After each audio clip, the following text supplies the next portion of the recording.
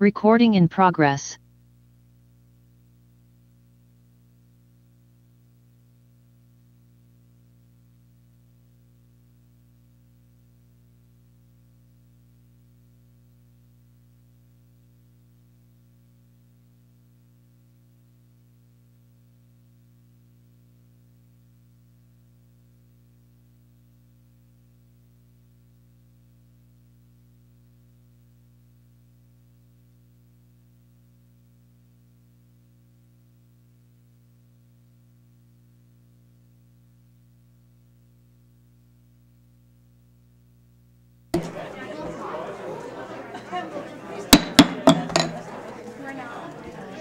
Good evening and welcome to the Federal City Council meeting for November 16th of uh, 2021. Would you all please rise for the Pledge of Allegiance?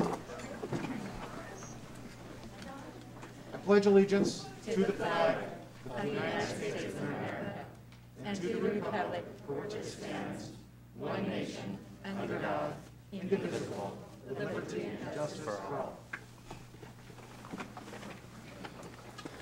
Well, good evening, everyone. Um, Before we get started with the uh, usual business of our uh, agenda, uh, we've got some, oh, actually, before we get started, um, uh, before I uh, do this, um, Council President Honda, do you have a motion?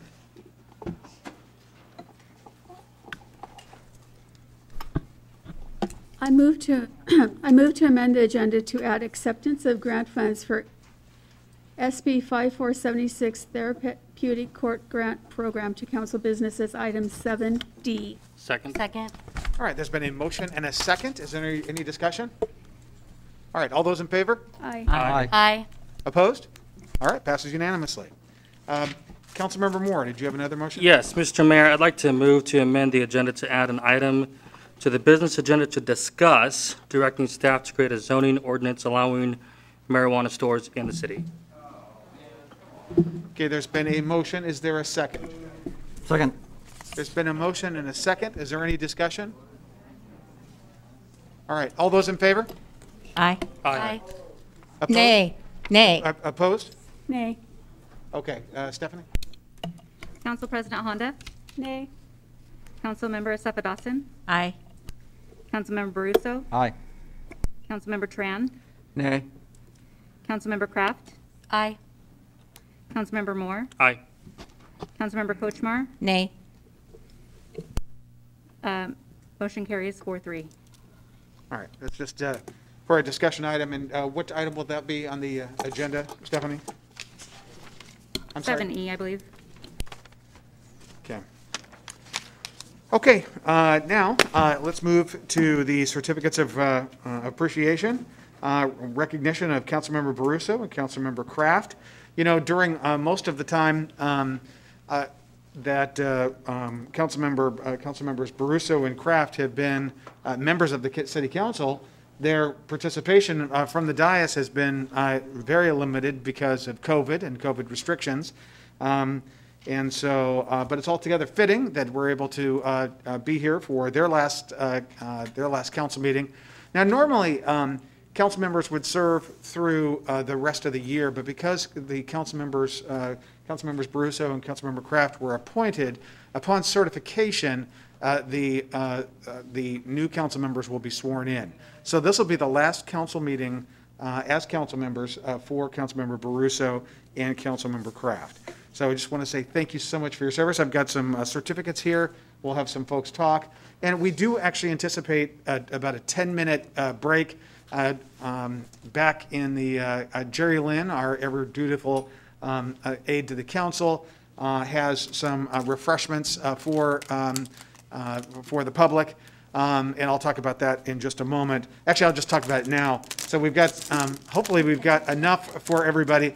But because we've got the mask requirement here, they're they're sealed. So if you could uh, take those with you um, and and eat them home, um, my uh, and that's a good thing because if I just sat up here, I'd be tempted to eat them. I get to bring them home to my son, uh, who will be sure to eat them. Um, uh, and so I'm glad they're wrapped up uh, for me.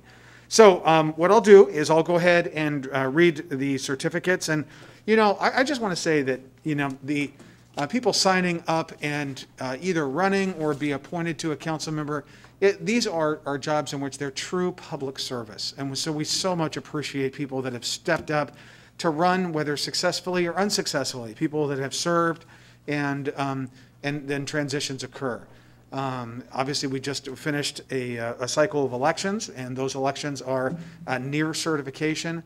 But the service to our community is certainly appreciated.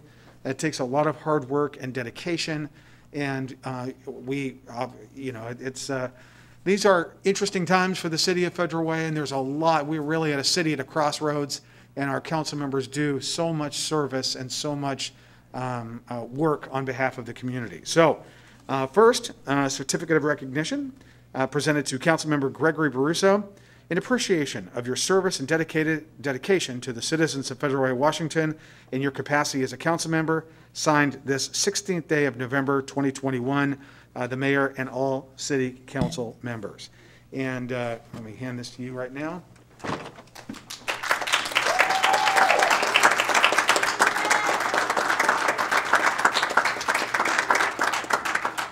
Once we do the certificates and people talk, I, I would suggest, uh, Jerry Lynn, maybe a group picture where we can kind of come down.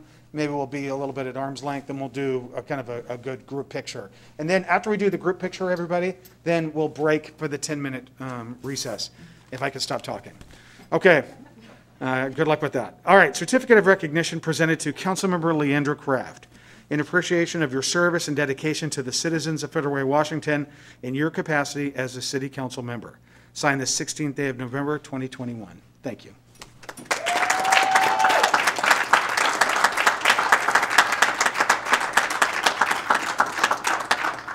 So let's start with, uh, actually, ladies first. Uh, Let's start with uh, uh, Councilmember Craft, and then we'll go to uh, Councilmember Baruso. Would you like to say a few words?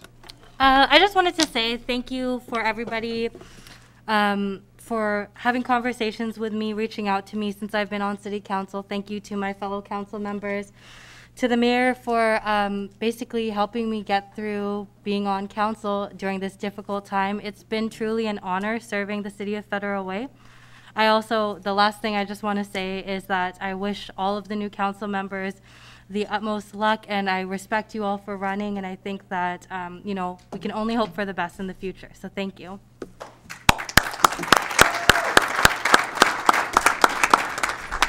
Councilmember.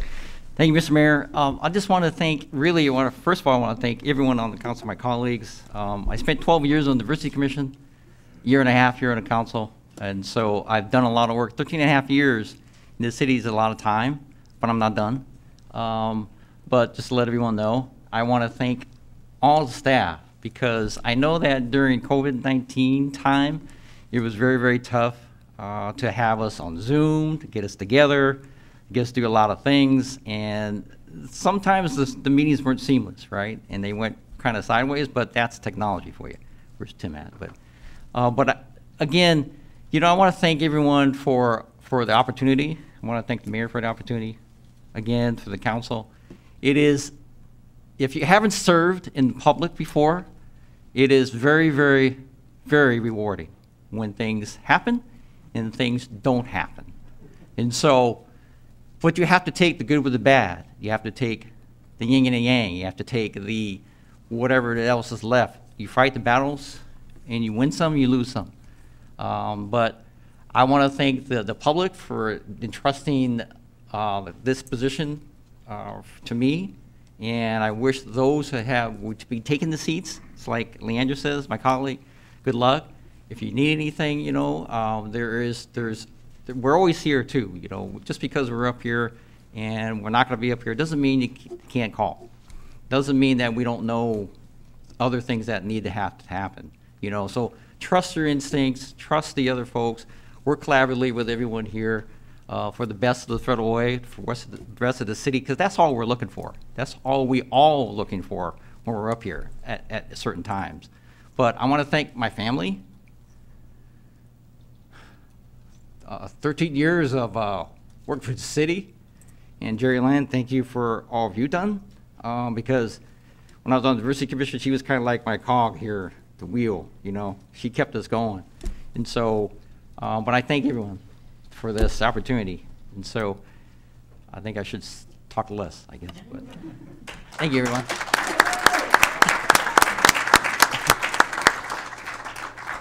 Councilmember Sepa Dawson? It's our turn, okay, great. Um, just want to say thank you to both of you for doing the work that you've been doing, for the, for your input, for your support. And I also want to say thank you for actually being so intentional about your expertise and bringing that to this table. Um, that has been very helpful. I really appreciate it, enjoyed working with you, and um, unfortunately, it wasn't, we weren't here on the dais, so everything was over the phone and Zoom, but I still enjoyed working with you guys, and thank you for your time, and please don't vanish. um, stay engaged, stay connected, and uh, um, like you guys said, I also want to say welcome to the new incoming council members, and I look forward to working with you guys as well. So thank you for running, and uh, um, good luck. Um, I think we're going to have a great time together. Thank you so much. All right. Uh, Council President Honda? Oh, thank you. You always know. You must see my I, I know, I'm watching. hand moving there. Um, Thank you very much for applying for an open seat, because I think that's harder than running an election. Because you have to um, make like five people happy, or six people. And, um, and it's hard to do that, and I, I really give you a lot of credit for doing that, and for, for running an election. Um, this was a really difficult election season. And I think you guys did really well. You did, you ran great um, campaigns. I'll miss you here, up here. I, um, well, I'll miss you up here. Heck, we've only been up here twice. This is our second time um, since COVID. And I have to say that the last, what, 19, 20 months, I don't know how long we've been off, um, have been really difficult. And you've been part of that. Not that you were difficult, it's just that, you you know, it was difficult as a council to connect at times because we didn't have the, the ability to be in person. And um, being on a computer screen, you know, just wasn't the, the very best. So, and I personally want to thank you both for answering your emails and your telephones. Thank you so much. You responded. I, that was just, that's really special. So, thank you very much. And good luck in the future. Thank you. Councilmember Tran and then Councilmember Kochmar. Councilmember Tran? Thank you, Mr. Mayor. Um, I'll, I'll make it quick. Uh, I just want to say uh, thank you to both um, for really stepping up and, and, you know, um, going to this position to serve the people of Fairfield Way. You guys, um, it's been an honor for me working alongside with both of you. You know, taking a job that pay, you know, less than a minimum wage, and, uh, you know, you make uh, the best of it. Um, So thank you very much, and um, please stick around. Thank you. Thank you. Councilmember Kochmar? Thank you very much, Mayor. Uh, And so thank you, Councilmember Craft and Councilmember Baruso. You will always be able to say that you were a council member in one of the finest cities in Washington State. And, you know, when you're working in a body of seven plus one, you have to work collaboratively, and I want to thank you for always being very decent people. You're very decent, you're always very uh, easy to talk to, both of you. So I want to thank you for that, and thank you, and I wish you all the best in the future. Thank you. Councilmember Moore? Thank you so much, Mr. Mayor. Um, You know, I've been here for eight years, and I think one of the most difficult parts in this job is uh, seeing your colleagues go, um, and seeing some enter. And um, I want you both to know how much I've loved working with you guys. I think what makes a policy, um, what makes a, um, I think the best thing about you both is the fact that you always picked up your phones and you were ready to talk about anything. We created that space where everything was on the table and we can dissect it, we can take it apart, and we can create a plan. Um, Greg, you and I have known each other for a long time. Councilmember Baruso, we've known each other for a very, very long time. And um, just having those daily uh, conversations with you has just been incredibly fulfilling. Uh, and it just constantly reminds me of why we're up here, why we do what we do. And it's for the people. It's for advocating for working families, it's advocating for the underserved populations. Um, and I just have appreciated every bit of conversations that we have we've had. Um, and quite frankly, as a commissioner, uh, you've done a lot uh, for 12 years, and six of those years being the chair of a diversity commission. You've gone, we have seen turbulent times in that diversity commission, and you were there to, to guide it. And, and so I think Councilor Safa Dawson is absolutely correct. We have been a stronger council because of the expertise you brought to the council, especially at this very moment during COVID. Uh, and so uh, I just want to just show nothing but gratitude, appreciation, and I know that the conversations will continue. Uh, and um, and I just want to say thank you for just being there for Federal Way. That's what it is. Councilor Le- uh, Leander Craft, you are amazing. You are a rock star. Um, again, I mean, the expertise that you brought to the table has been completely invaluable, especially around the legal systems. Uh, and just the fact that um, I didn't know who you were when you first came. And here we are today. And the fact that you and I have talked consistently and dissected and worked through policies and all of our conversation and just being a sounding board, I have, you have no idea how much I've appreciated that tremendously. And I think it's a really cool thing that your husband and your daughter is out here to see you up here. And I hope that your daughter gets to see, continue to see leaders like you on this council. I think it's really important. And, and to see strong women uh, in leadership spots, I think that is so important. And I can go on and on and on, but I'm not going to. But I, that's rude. That's so rude. So, uh, I just wanted to say thank you. Thank you for your service. Thank you for your commitment to our community. I really appreciate it. Okay, it's picture time. Let's go ahead and, you guys, I'm going to set the, uh, set the alarm for 12 minutes. So take a couple minutes, take the picture, and then we'll have, we will recess for about 10 minutes for a brief reception. Uh, If you haven't got some of those cookies, make sure you get them. Um, And then uh, uh, we'll reconvene. All right, let's go.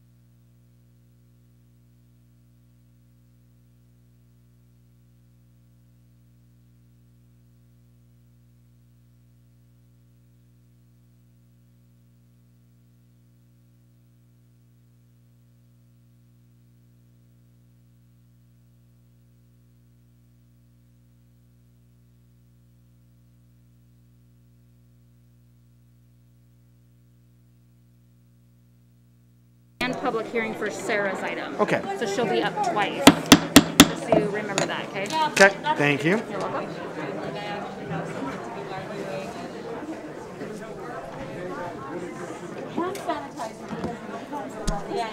Okay, let's reconvene, please.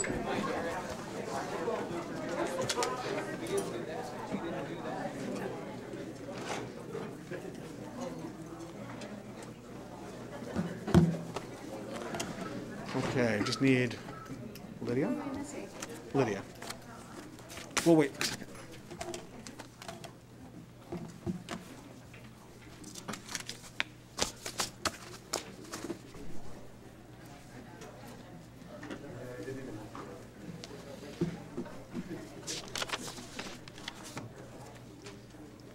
Uh, you guys, when we reconvene and uh, call public comment, Bob Drake is going first. It's his birthday tonight, so uh, for being for sharing his birthday with us, he gets to go first, right? Or do we have a? Yeah, thank you. All right.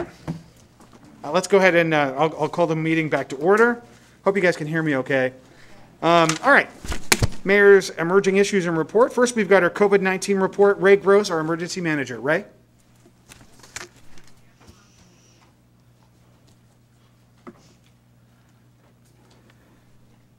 Good evening, Mayor, Council President, council members.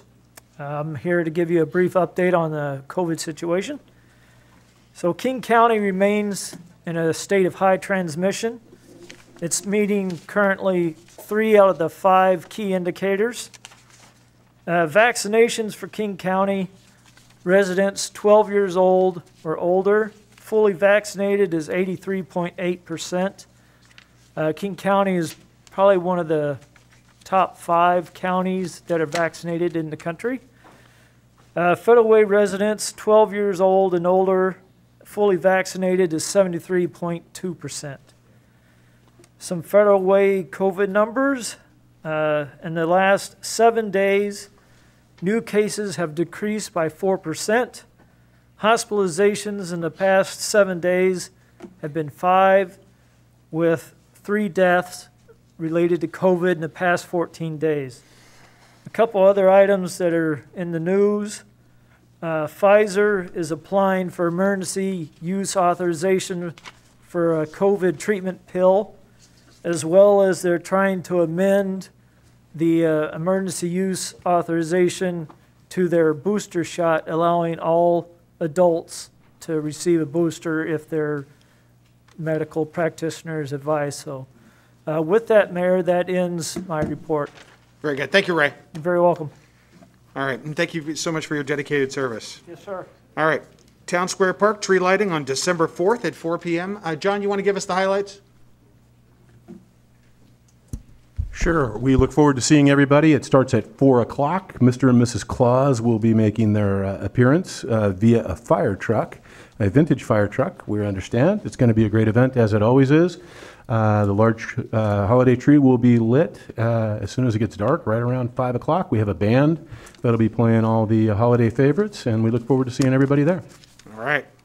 We're going to go old school analog on the, uh, on the flip of the switch. Is that right, John? No, I wanted to talk to you about some new technology we want to try out, sir. No, yes, absolutely old school. So when we flip the switch, it'll come on, hopefully. We appreciate all the good vibes, people. Thank you. Yeah, let's not do a clapper, though. Uh, All right. All right, thank you very much. I look forward to it. Hope you guys can make it. um, And it's a, it's a great event. All right. um, uh, Recent community events. We had uh, Communities in School fundraising breakfast on, um, I got to use my glasses. Sorry, you guys. Uh, Communities in Schools breakfast on 11/5 that was held uh, via Zoom. And uh, let's see here. Oh, reminder, everybody, that we, um, uh, in December, we only have one council meeting. We don't have, just as normal as a- uh, by council rule, we do not have a second meeting in December. So our one and only full city council meeting is our next meeting, um, yeah, and that's December 7th. Okay, uh, now, on to council committee reports. Uh, Parks, Recreation, Human Services, Public Safety, Councilmember Kochmar. Thank you very much, Mayor Ferrell. We just had our meeting last night for the uh, Parks, Public Safety, Recreation, Human Services meeting. We talked about uh, replacing the police gates, which apparently need to be replaced, an easement for Puget Sound Energy. We talked about the SCORE jail contract, uh, increasing the beds. We, we talked about purchasing, this is pretty interesting, you may want to know, we're purchasing a couple of new electric motorcycles uh, that we will be using, the police will be using on our trails, like the BPA trail. So they're kind of like over the road, not over the road, but over the um, rough road motorcycle. And I'm sorry to tell you, they're not Honda motorcycles, sorry, Susan. And then um, we talked about a Washington, a, a new grant for traffic enforcement and uh, amending uh, an, an agreement with Pierce Transit. And so thank you. Our next meeting for parks will not be until January the 11th. So thank you very much, Mayor. All right, thank you very much. All right, Land Use and Transportation Committee, uh, Councilmember Baruso. Thank you, Mr. Mayor. Uh, We had our meeting on November 1st. Uh, We have items on B through F on the consent agenda for tonight, and under eight ordinances, we have uh, C and D. D is our second reading enactment. Uh, The next meeting for LU LUTC will be December 6th at 5 PM. All right, thank you very much. Finance, Economic Development Regional Affairs Committee, otherwise known as FEDRAC, uh, Councilmember Tran. Thank you, Mr. Mayor. Um, Our next meeting is going to be at 5 PM on November 23rd, um, here uh, in this building. Thank you. All right, thank you very much. Lodging Tax Advisory Committee, LTAC, Councilmember Assefa Dawson. Yeah, thank you, Mayor. Um, We didn't have a meeting in November, so I don't have anything to report on. However, our next meeting is planned, scheduled for December 8th at 10 a.m. Thank you. All right. Uh, Regional Committees Report, uh, the PIC, the Public Issues Committee. Um, Councilmember Moore. Thank you so much, Mr. Mayor. Uh, Nothing to report. There was no meeting that took place this month, and um, that'll be it. Thank you. All right, thank you. Council President Report. Thank you. Um, First of all, I'd like to take an opportunity to thank all of the volunteers that we have in our community here in Federal Way. You make Federal Way very, very special for all of us, and thank you so much. The Sound Transit Board will be uh, discussing where the South, the South OMF is going to be uh, sited, or potentially will be sited. That's coming up really soon. Um, I'm not sure what it is that we can do at this point to stop it, but we have all agreed that Federal Way is not the preferred location and that, that it's Midway, but that decision is, um, is coming soon. And, um, the last thing is, a- is, is a great thing. Uh, Years and years ago, I don't know exactly when, there was, I wasn't on council, there was, um, the council approved a cottage housing demonstration project. And a few years ago, that project started. It's over by Mirror Lake. It's called the Mirror Lake Highline Cottage Housing um, Demonstration Project. And it, um, Bill McCaffrey uh, is the builder. His kids uh, swam with my kids years ago over at Twin Lakes. And um, just recently, last week, his project won the Regional Community of the Year Award at the Seattle's New Home Council's 12th, 12th Annual Tribute Awards. And this is really cool for Federal Way because I don't, you've probably seen if you're on 312th and you're by Mirror Lake and you see new houses, there, there's a hill and there's like, I think 16 of these houses on this hill. They're smaller than a typical home is in Federal Way. Uh, If you've had a chance to go into them, they're, they're really, really well done and ver- very nice. And it, it's a win for Federal Way. It puts us in the news. And it, it's a good thing for us. So congratulations, Bill. Uh, You represented us well. And we hope that we get more cottage housing here in Federal Way. All right, thank you. Yeah, I just sent him an email today, and it's actually, it was in the front page of the uh, Mirror Online, so got some good recognition. Okay, um, now we're on to the most important part of our evening, which is public comment. Uh, As I said before, it's the birthday boy, Mr. Drake. You are up. Mayor, Yes, do you want me to read the rules? um, sure, yeah. All right, hey, uh, Bob, can you hold on just for a sec? Go ahead. All right, the rules read, in accordance with state law, the city of Federal prohibits any testimony regarding any campaign for election or promotion of, or opposition to, any ballot proposition during public comment. City council rules of procedure prohibit any personal, impertinent, threatening, or slanderous remarks during public comment. The mayor may interrupt comments that continue too long or violate the rules of conduct. No speaker may convey or donate their time for speaking to another speaker. The mayor has the authority to preserve order at all meetings of the council and to cause the removal of any person from the meeting for being disorderly. All individual comments are limited to three minutes each. All right, thank you. The floor is yours. Good evening, Mayor and Council. It's good to be here in person. We are going to keep fighting for our city and businesses. We're not going to give up. We're going to, we're going to help clean up this city. We'll do it with or without your help. We're going to do it. Um, We have many issues in our city, crime, homelessness, drug addictions, garbage to clean up. We have gang problems. We have firearm issues. We have a lot to do. We had a simple ask from Andy two weeks ago to keep the sidewalks and thoroughfares of businesses and, and for citizens clear by adding additional language in the way of an ordinance. You know, people injecting drugs, passed out, puking on public thoroughfares, blocking entrances to businesses. To be clear, this was an ask from local businesses wanting help from their police. And some voted, I feel like, to throw businesses under the bus. You know, when are we going to look out for law abiding citizens? I think we need to revisit this. I understand not wanting to criminalize certain things, but I, I really think we need to give this another look. Um, it feels like we're, we're hindering the ability of businesses to do business in the city uh, by allowing no method to, to help clear sidewalks in front of businesses. Um, It was merely a vote to carry it to the next meeting. Uh, We could have at least gone that far and had further discussions about it.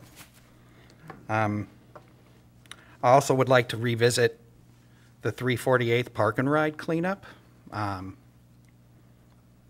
I think I, I, I heard the mayor say that when the county took care of their portion, that you were going to take care of our portion. So we've been down there, and it, it's a nightmare. It's a wetlands. Please, all of you. I know you've been down there. I know you were personally down there. Let's get it cleaned up. Um, It's disgusting down there. Thank you. Well, thank you, Bob. You came on the right day on your birthday because on both your requests. Um, uh, First, actually, I wanted to let you know that the ordinance that you uh, mentioned uh, will be on for first and second reading on the uh, December 7th meeting. Secondly, um, John, can you please uh, outline where we're at? Because this Friday, um, uh, we are, uh, can you talk about where we've been at with the 348th cleanup and what's happening, what we're scheduled for this Friday? Yes, Mayor. Uh, One of the reasons we've been uh, holding a bit is that the state is uh, starting up a, a, a master contract for pre-bid uh, contractors that are pre-vetted, pre-bid, prices all approved, so you can just hire off of a list that they've done all that work on. We were hoping that was going to be done by, by or before Thanksgiving. It looks like they're going to be just slightly behind that. So we have gone ahead and said, can't wait any longer.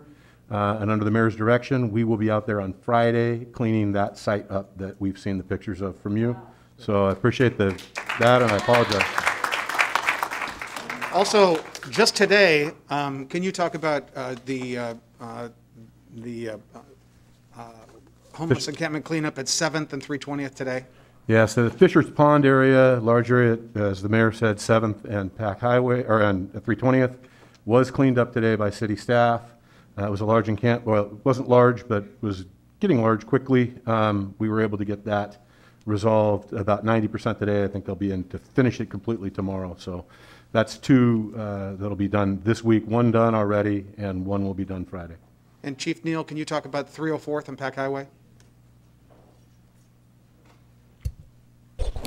Yeah, so there's a, a large effort at 304th and Pac Highway. As you know, that's been a, a problem area for many years now, but there is a huge uh, cleanup underway there. That's why if you were to drive by there today, you, you might see carts and different things out towards the road. The reason for that is because they are being moved out so they can be cleaned up, and that then those people that are displaced there can, can be uh, addressed with now. So uh, 304th and Pac or 18th South approximately, there's a lot of work going on there today. All right. So a lot of work going on. Uh, Thank you, Bob. All right. Mayor, Mayor, Yes. just one quick question with regard to the 348th encampment cleanup. So John, d- is that going to include the um, gate that, or the fence that uh, Pierce County Councilmember Hans Zeiger is requesting for the border between King County and Pierce County? No, that's a very different area, but Okay. we are working on that too. We- We're Okay, spread pretty thin, but we're getting to them all. Would you send him an email, please? Yeah, he, No, I send him did, and another- he has answered that email already. No, I just talked to him two days ago, so perhaps you could follow up. Interesting, I've got his answer. Yes, I will absolutely follow. up. Appreciate that, bet. thank you. All right, thank you, getting it all done. All right, but we, uh, we rely on our neighbors and our friends and our, you know, the folks out in the community. So you see these encampments, tell us where they are, we'll take care of it. We were, uh, you know, one of the things that, when when my one-on-ones with John, um, I gotta pull this thing so you guys can hear me. Um, you know, we were, we were waiting with that state bid, but at some point I just said, we can't wait anymore. We just need to go out, do this, move, you know, you know, just get this stuff started because we're just not, it's unacceptable to leave it the way it is. So we're there. Okay, uh, Betty Taylor. Is Betty here? Yes. Hi, Betty. And then Dava Mandeville after that. Good evening, you guys. Um, so, um, I'm coming in a way that I've never came before. And, um, this is weird. I'm kind of nervous, but, okay. All right, here we go. All right. Hold on. Stephanie, can you restart her clock? Please, thank you. And- And. Oh, thank and you. This is, this is not, nothing personal against anybody here. Okay, I wish I could make it go away, or even pretend that it never happened to ease my pain, but I can't, and I won't. It's different when it's murder, only because you faced it with it every day in a different way. I don't care what people say. Don't get it twisted. The way and the manner it happened, going to court time and time again, coming face to face with the one who pulled the trigger while he sits in the courtroom and he's alive, but my Ezra Taylor is dead because this person made the dumb choice of pulling a trigger because he was mad, because someone pushed him down. So in re- retaliation, he decided to pull out his gun and pull the trigger, killing three people and injuring three. Also having the nerve to use a gun which he was told not to use or even have, violating a court order. So because of you not being able to control your anger, you don't care about no one else's life but your own, so you shot others. Why would somebody just shoot? Why, you guys, why would somebody just shoot out in the open and take lives?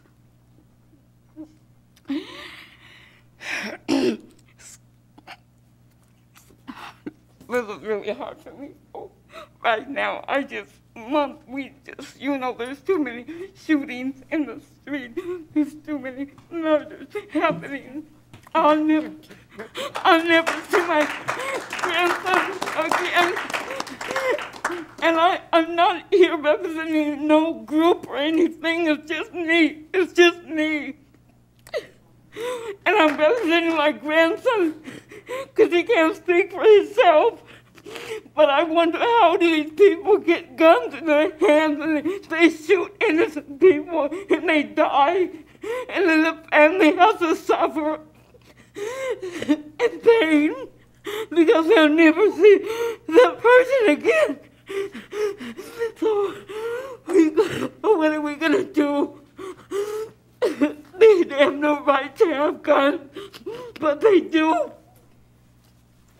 So, so Betty is talking about her grandson that was killed in front of La Familiar Bar by a person who was in the bar, was pushed and came out and got on a motorcycle and started shooting as he went through, and her grandson had a security guard outfit on from working at Amazon, and he was trying to help, and he got shot in the head.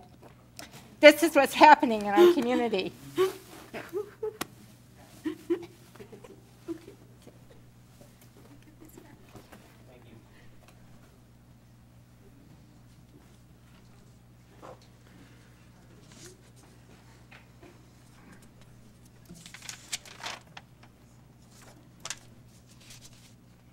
David?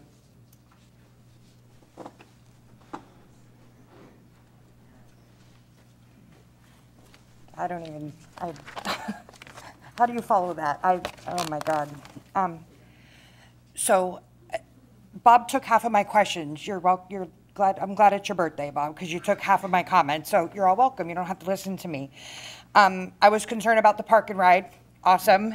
Um, um, one of my other questions was, we used to be able to, so we had a discussion, Mayor Ferrell, about um, how to report issues, whether it be potholes or homeless encampments or whatever you told me, Eyes on Federal Way, email us directly. Mhm. So we started doing that.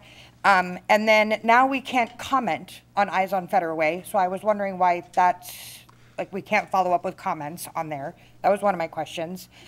Um, and then I also wanted to comment, I, I'm horrible remembering time. I think it was two meetings ago, um, or two months ago, it, um, Eastwind and New Horizon on Pac Highway, um, was brought up. And there was a little bit of conversation and a little bit of hush hush, and then we're working on it. And somebody else got shot, and it's just sending a lot of our already over depleted resources there. So I'd like an update on that. Um, and another thing about, he reminded me because of Christmas, um, is Santa going to be coming to the neighborhoods this year on the fire trucks? Because that was amazing last year. And I would be willing to like spearhead fundraising for that to happen again. So let me know. I'll have John get back to you on, about, about that. Okay. no pressure, no pressure. Okay. Um, and then the ordinance thing, you said it's going to be revisited at the next meeting, so awesome. So my last question is, is I just want to read this statement. Um, um, this person was on a mission to create a positive image, image for Federal Way, and he didn't want to be driving down and seeing pot stores or stand near pot shops and smell it. Um, and then the person who made that comment asked to put, to add the discussion about pot shops in our city to the agenda tonight on his way out of the council. So just putting that out there, that we, we can't have it both ways. So that's all. All right. Thank you. David? David? Hold on. It's Dara. Oh, what's that? Dara. Dara, gosh darn it. Um, uh, So with regard to the, the, uh, people can comment on their own, on the Eyes on Federal Way app. That is the best way. One of the things we do every Monday is I personally review it with our, with all of our directors. Mhm. And we, you know, we methodically go through those lists. We get about between, I monitor on Eyes on Federal Way, how many requests we get per week. It's usually about 120 to about 140, and it varies whether it's garbage, debris, Mhm. flooding. So that's the, probably the preferred way and the methodical way to approach it. What was happening is we had, you know, really a very small number of folks that were going on and commenting on everybody else's. And what we, if somebody gets on, on Eyes on Federal Way and reports it, they can continue to report on their own. But what we're, what we don't have is people commenting on yours and that one and that one and that one and that one. And there was just something happening that was, let's just call it, not helpful. Um, and just not, the not the way that the program was intended to be used, which was somebody trolling everybody's uh, en- entries. We need, if somebody has, if there is a grocery cart somewhere, we don't need 10 comments on that. Tell us where it's at, we'll go get it. And if you haven't updated, uh, but it's like, hey, it moved 10 feet, you can comment on it. If it's your request, you can comment on it. And if, and if, you know, we actually just had on on Federal Way, somebody who um, had a situation where um, they got frustrated because that there had been too much time, you know, with a, a Mhm. parking situation. They reached out and said, what, what is going on? So that, that enabled us to go back and say, hey, this got mislabeled, and so we fixed it. So if, if anybody goes to Eyes on Federal Way and there's not a, you know, a reply, and if it, if it does, if it seems like it's stalled, reach out to us via email, my office, uh, Pu- Public Works, Parks, and, and inquire, and there is probably a, an internal system in there as well, where you can inquire about, hey, what, what's going on here? Because I, it is, a, it's a methodical way to approach this. So I, that's the answer to that question. Okay. Okay. Thank you. All right, thank you. All right, Ken Blevins.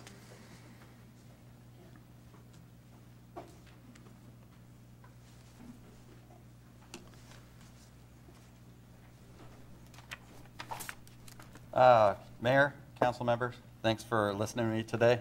Um, Thanks for the cookie, by the way. Thank you for um, your service, uh, council members that are leaving.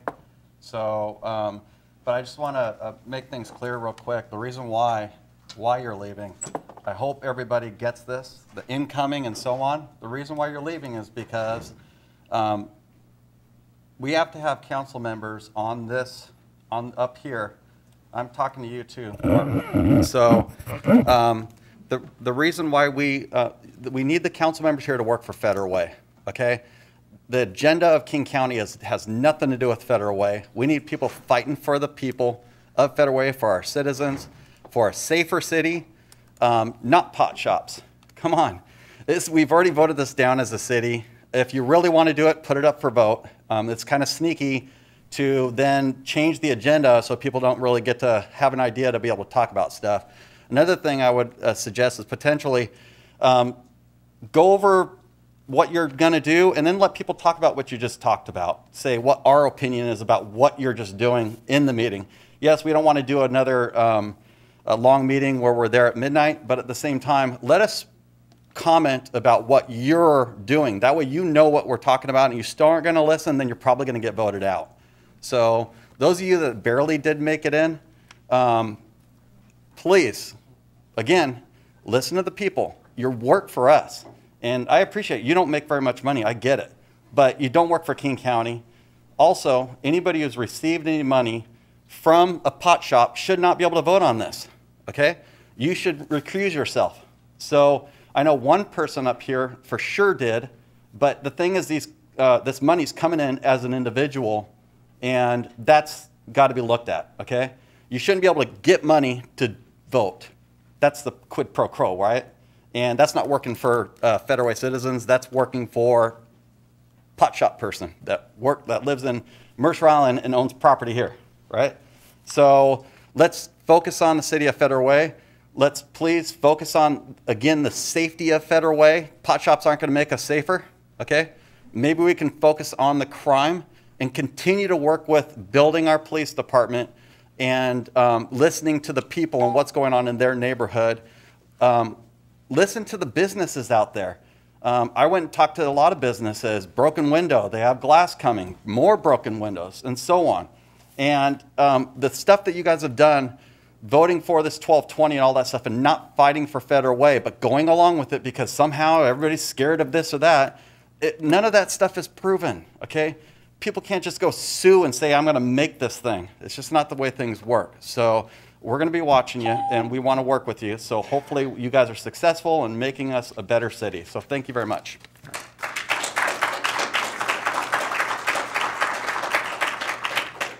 Uh, Nancy Justice, and then Jen Gallagher.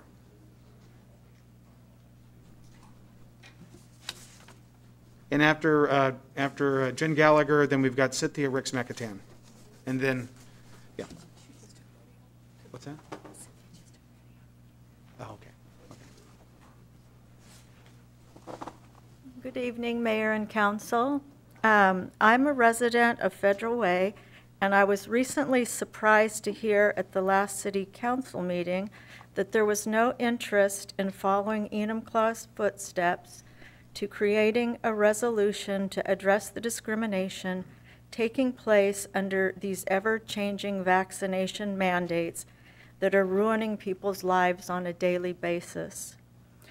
Instead, I heard that we are more concerned with the loss of money for the businesses adhering to these horrendous ideas coming from our capital.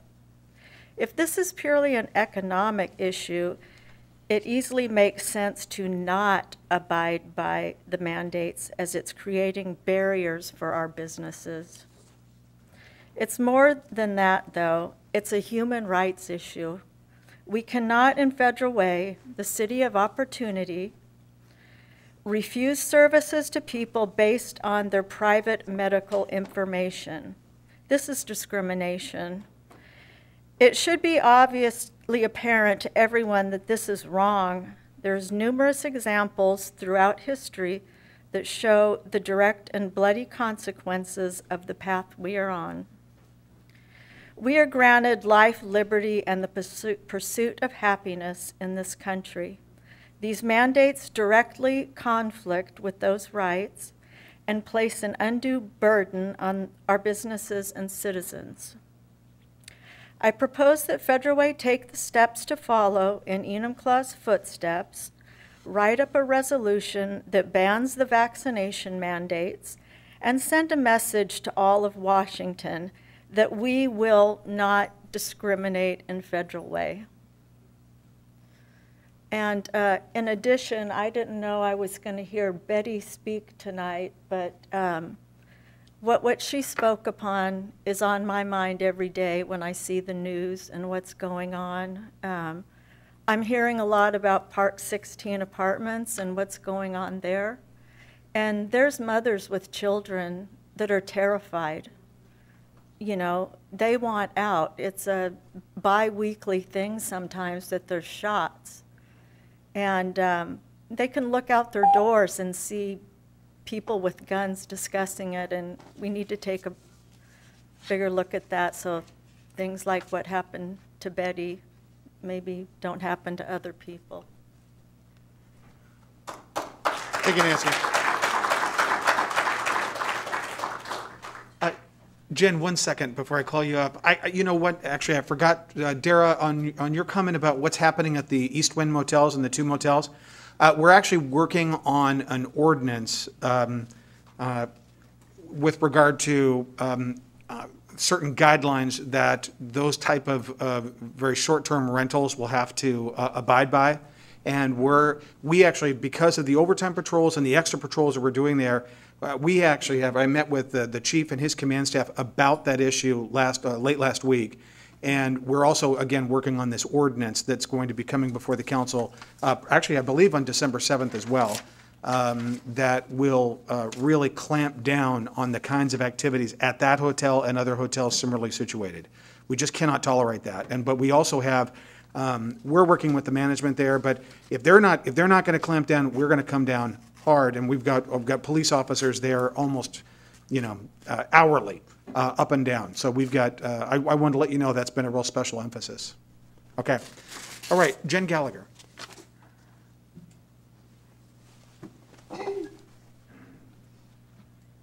Hi, everybody. It's nice to be here in person. As a longtime resident, over 20 years, I just wanted to talk about the violence and crime that we are seeing in our city.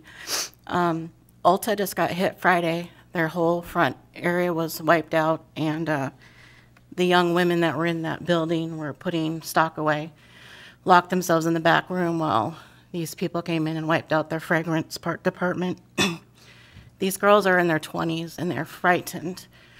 And they called the police and it was a very slow response and they're scared. We're, and we're scared. We can't shop in the city and feel safe. I appreciate that we're getting more police officers. I don't know what exactly that's going to do with how limited they are. I've had two police officers in two separate situations while we're out on the streets where we're being harassed by people say we can't touch them, we can't even talk to them. We just have to ask them to move along. I had a sign ripped out of my hand, thrown on the ground.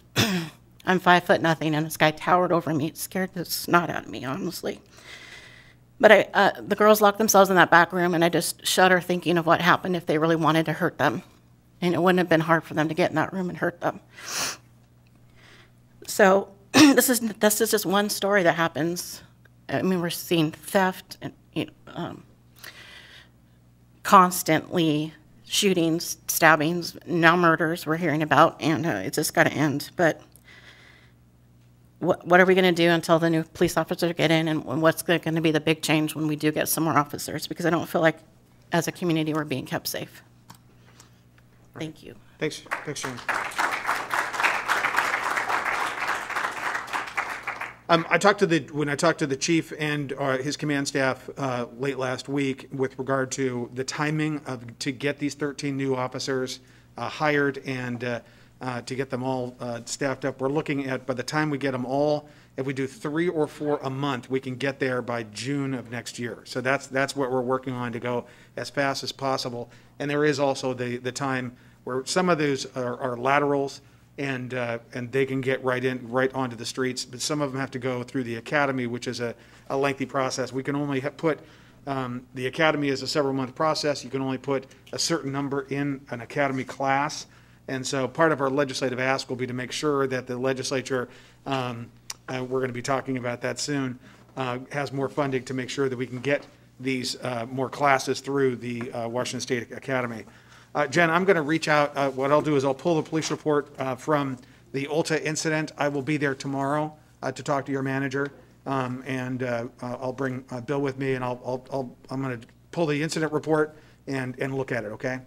Uh, Thank you for, thank you for letting us know about that. Um, I mean, we know about it. Thank you for, uh, you know, commenting on it today and, and uh, alerting me to your concerns. We'll, we'll take uh, your, your, the safety of your coworkers and everybody there very seriously.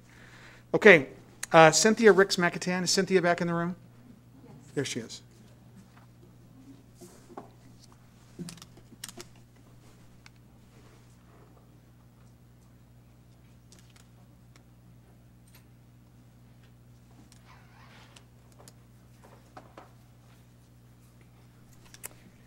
Hello.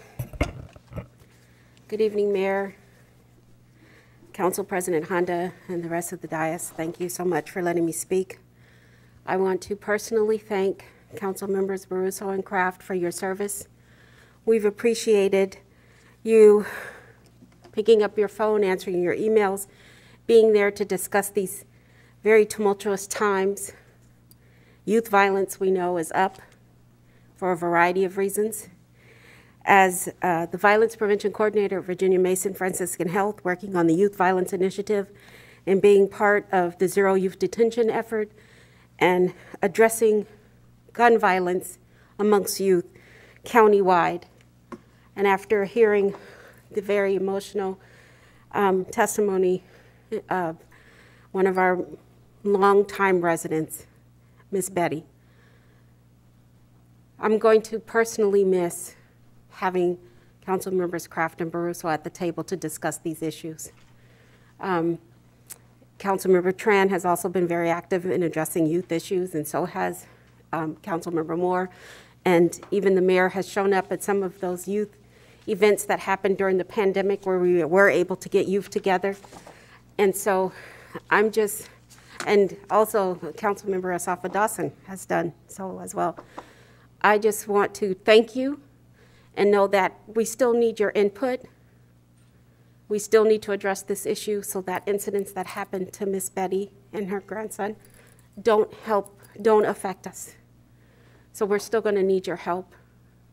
So please stay active, please stay involved, and to the rest of the council members and to those who will be coming up, please know that this is a very serious issue addressing gun violence with youth.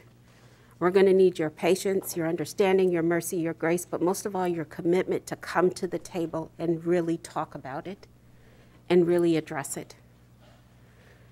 So thank you all so much, and I'm really going to miss you, Council Members Craft and Baruso. Thank you.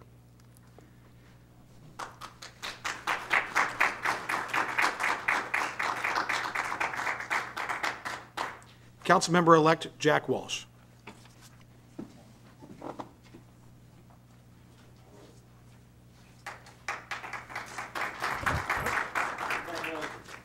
Right. Thank you, Mayor and uh, Council President Honda and all of the, the city council. Uh, I would first like to just say that I, I think that Betty has left, but I know that my heart, and I think the hearts of everybody here, goes out to her. I cannot even imagine going through what she and her family have gone through. And, um, you know, uh, the the violence is certainly the number one issue that we need to address. Right now, I am I guess the, the best words are disappointed that some of the outgoing members of the council are bringing up the subject of pot shops in Federal Way once again. Uh, twice, the voters of Federal Way have voted down retail pot shops. Twice. I helped lead that effort both times, and there was a profound, resounding no to pot shops. And one of the council members who is proposing it now was on that side before, and now suddenly that has changed. And I think it is disrespecting the voters of Federal Way. It is disrespecting the voters of Federal Way, and I am disappointed that that is happening. Um, I was just looking at the PDC report and noticed that uh, two of the biggest contributors were people from Medina who own pot shops and want to open them here in Federal Way. They're not Federal Way residents. they are Medina residents that want to open pot shops in Federal Way. Once again, very disappointed. I hope that this evening the council will say no to that. If it does not say no to that, we will be saying no to it very, very soon. Why waste the council's time tonight? There's no reason to waste the council's time tonight when it would be changed in very short order anyway. So I would encourage you to reject it, to get it, do a, a quick dismissal of it. Thank you for your time, and I look forward to working with all of you.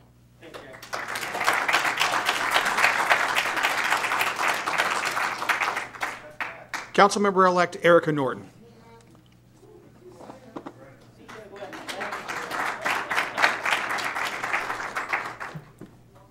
Good evening, Federal Way City Council.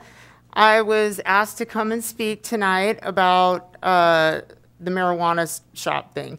So I wasn't really prepared, so it's just kind of off the cuff. So, as, from what I remember, we voted this down two times, and I kind of feel like it's just a, a final, you know, goodbye to us from uh, a certain person up there who's, I, I'm really confused about why it's even up uh, for a vote, but I'm hoping that all of you will listen to us. It's something that I say every time I come up here. Will you please listen to us? We don't want pot shops here. We voted, I personally voted um, yes for the first one. And then after I found out that everybody, that it was such a huge resounding no from the city, I thought, you know what, I'll just vote no the second time. Because there's pot shops in Fife, you guys. I, I really don't care about marijuana. I, I, I'm not, I don't smoke it myself, but if you want some weed, you can go down to Fife. It's, it's right there.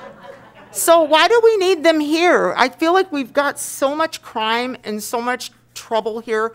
And when you drive past some of those marijuana shops, it just doesn't feel good. It's kind of a seedy kind of kind of area, and I think we have enough of that here. So let's just try to work on the issues that we have right now in Federal Way, which is the gun crime and the drug addiction problems, the camps that are going on. I think that's really important that we focus on that and not bringing pot shops here. Let's try to preserve and take care of the businesses that are already here. They need us, you know, they need our support. And I don't think bringing in that kind of industry is is the right answer for Federal Way. So thank you for listening to me again, and hopefully um, you guys will make the right decision tonight because it's just going to get overturned in a couple months. So I, I'm going to make sure it does because when I get up there, my job will be representing the people of Federal Way.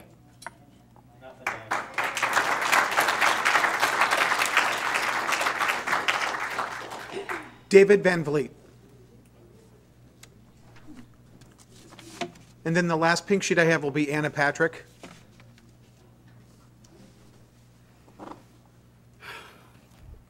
Good evening, thank you. Um, you know, as a city, we're already bracing for the onslaught of collateral damage that's going to come along with the extended stay hotel. And so I'm just kind of curious how now all of a sudden, and I mean all of a sudden on the way out, we're hearing that pot shops are going to be a great idea. You know, and, and I've, I've listened to this council many times talk about strategies for economic development. And I'm wondering where pot shops come in as a great strategy for economic development. If that's the best you can do, I'm looking forward to the new council and maybe we'll have some more creative ideas. Now, just to, to sort of highlight uh, economic development and the things that are working against us, House Bill 1220 is, is expressly designed to destroy single family zoning and single family housing and property values that is not economically sound. Uh, an increase in the sales tax for the sole purpose of purchasing open drug uh, hotels, open air drug bazaars, essentially, in downtown Federal Way does not promote economic development. 13 new laws in the state of Washington to, to essentially make policing illegal is not sound economic development. And uh, mandates on the part of the state, the county, and the acquiescence on the part of the city um, does not promote economic development. That's why I agree with Nancy's proposal that we consider something that, that makes it um, uh, an ordinance that says you cannot discriminate uh, um, against people based on their, their personal medical choices in Federal Way and make it a welcoming city that says, hey, no matter what your personal medical choices are, you're welcome in Federal Way. So um, as economic development is, continues to be on the, on, on the radar, I hope you'll consider some more creative choices than pot shops. Thanks.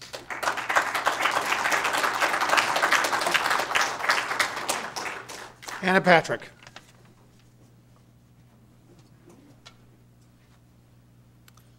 Hi, um, evening, Mayor and Council and public. So um, I would like to, um, I concur, the last thing we need is to focus on pot shops in Federal Way. I'm really shocked that this was even brought forward, uh, considering we voted against it twice now. So, uh, and definitely considering some have received money um, when they campaigned from um, people that have vested interest financially, uh, like a quid pro quo kind of thing there going on. And so um, they shouldn't be voting um, if they received funding that way. And then also, um, you know, the past month, I have two teenage daughters that work in the city and have friends throughout the city, and everywhere they go, there's shootings, like within a block of them. It, it's, it's like a landmine, uh, you know, just everywhere we go, there's shootings. So this, this should be what we're talking about tonight, not pot shops. And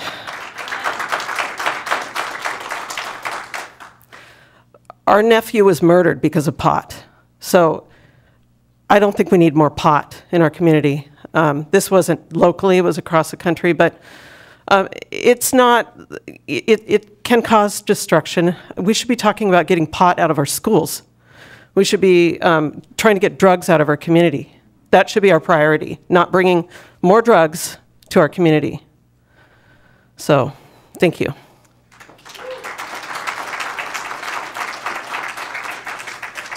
Okay, that was the last pink sheet I have, but we do have a caller in, Francisco Segura. We don't have him on the line, Mayor. Oh, no? Nope. Okay. Um, All right. So Francisco wanted to uh, testify, but uh, he's no longer on the line. Uh, Okay, that's the last pink sheet I have. Thank you, everybody, for your public comment. And Once again, I think it is the most important thing that we do while we're here, Uh, and your voice is heard. All right, um, now we're to the consent agenda. These items have gone through committee, can be passed all at once. I'm going to read each one of the items, and then if, I'll I'll ask if a council member uh, wants to pull for separate consideration. Okay. Let's see if I can do this without fogging up my glasses. Um, Item A, minutes for the November 3rd, 2021, regular and special meeting minutes. Item B, 2021 Transportation Improvement Board, TIB, uh, Complete Streets Grant Funding Application.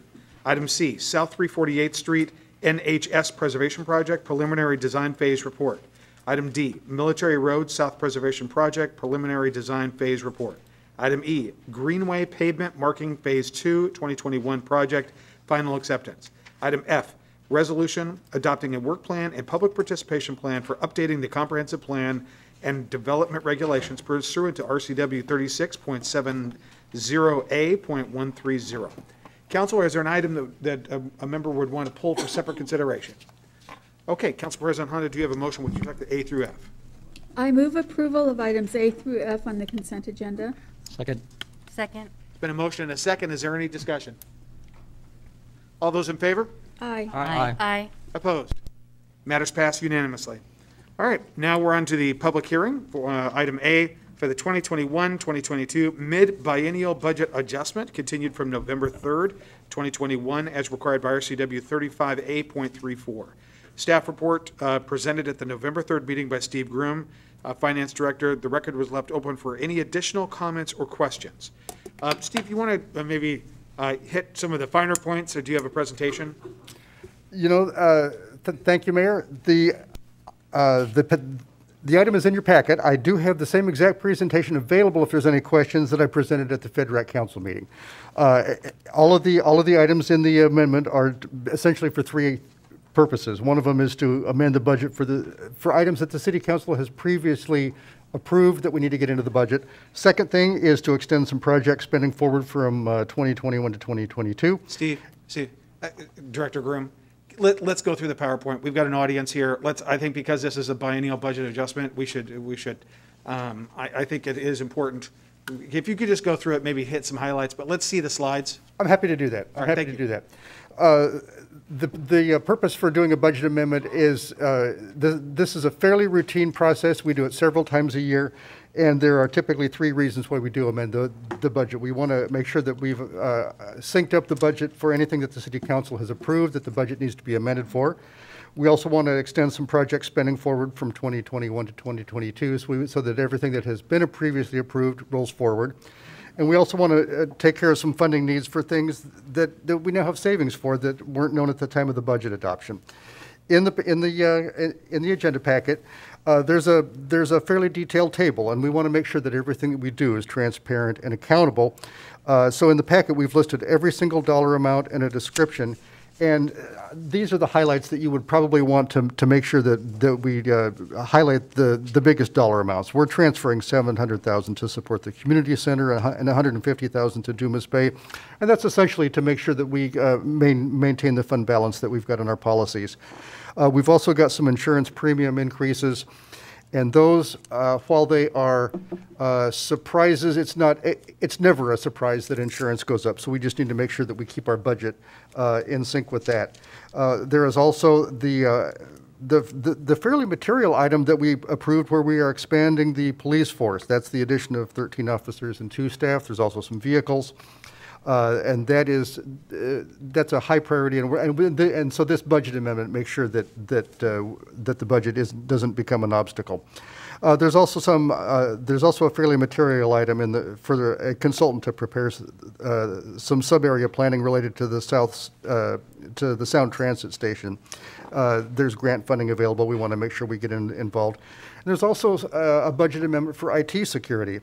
Uh, We don't intend to publicize or go into into too much detail uh, about the details because cities across America are increasingly targets. But when we have opportunity, when we have savings, we we do- we do want to make sure that we keep, uh, that we take care of our city. Uh, That was the general fund. In uh, other funds, uh, there is also some, some budget adjustments, and this is just an abbreviated list. Uh, We want to make sure that, that, that we're being clear, that we're doing things that we know are priorities. Uh, There's an overlay program, which is primarily the 2020 overlay project that was completed in 2021. Uh, There's a body-worn camera program that uh, takes care of year one and year two, that, and that's in the Traffic Safety Red Light Photo Fund. There's a carry forward of residential street, arterial, and CDBG program. Uh, We're acknowledging the jail services increase, and that, it- it- what we're doing there is we're adjusting the budget so that we maintain our fund balance uh, uh, uh, reserve percentage properly. Uh, There's also some transportation CIP projects, and then, and then there's the transfer to the police uh, vehicle expanded fleet and patrol car fund, where we're adding 28 vehicles. So outside of that, we're taking care of council-approved items. There's a, there's a, there are three schedules in your packet that show the, all of the fund balances for every single fund in the city. Uh, The, uh, the original adopted fund, and then the uh, first amendment, and then the current proposed amendment. And what you'll see is that you'll see that the uh, total fund balances in 2021 are all increasing. That's essentially because we're acknowledging some grant funding that's coming in. It's all good news for the city. We're uh, being, I wouldn't say uh, nimble or agile, but we're being re- uh, responsive to the, to the changes that needed to be made. Uh, So with that, uh, staff recommends approval. Now, this agenda item is a hearing, so this is for uh, any public comment, and then I believe uh, on item eight on the agenda is where we actually have the ordinance. So with that, I will close the presentation, and I think this is a hearing, so back to you, Mayor. All right, uh, before we turn it over to any public comment, uh, are there any questions for Director Groom? Okay, seeing no questions, uh, thank you, Steve. Thank you, sir. Um, All right, uh, do we have any public comment for this? No, Mayor, I don't have anyone signed up. All right. And as, uh, as Steve just mentioned, that action on this item uh, will take place uh, under the ordinance section on the agenda. All right, um, so, have, hearing no public comment, no pu- comments by the, uh, by the, uh, or questions by the council, let's move to the next item with, yes, uh, I need to Council move to President Hunt. close the public hearing. oh yeah, please. Um, I move, uh, I move to close the public hearing. Second. It's been a motion, a second to close the public hearing with respect to um, item 6A, the biennial budget adjustment. Is there any discussion? All right, all those in favor? Aye. Aye. Aye. Opposed? All right, uh, motion passes unanimously. Thank you very much. Okay, uh, now I will, um, on, I will now open the public hearing for item B, the program year 2022 uh, CDBG Annual Action Plan. We'll have a staff report from Sarah Bridgeford, our Community Services Manager.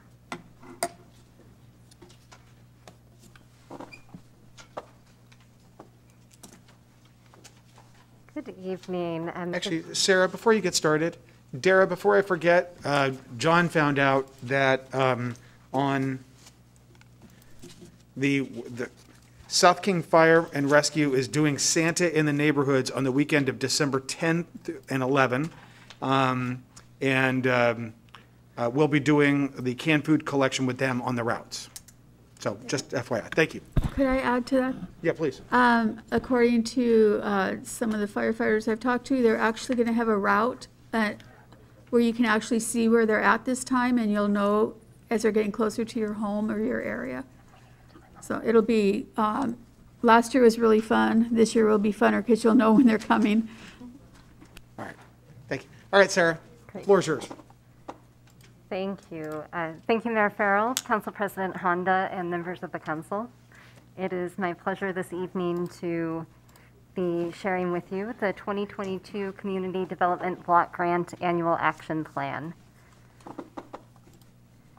So the policy question before you is, should City Council approve the program year 2022 Community Development Block Grant Annual Action Plan? This is a program of the U.S. Department of Housing.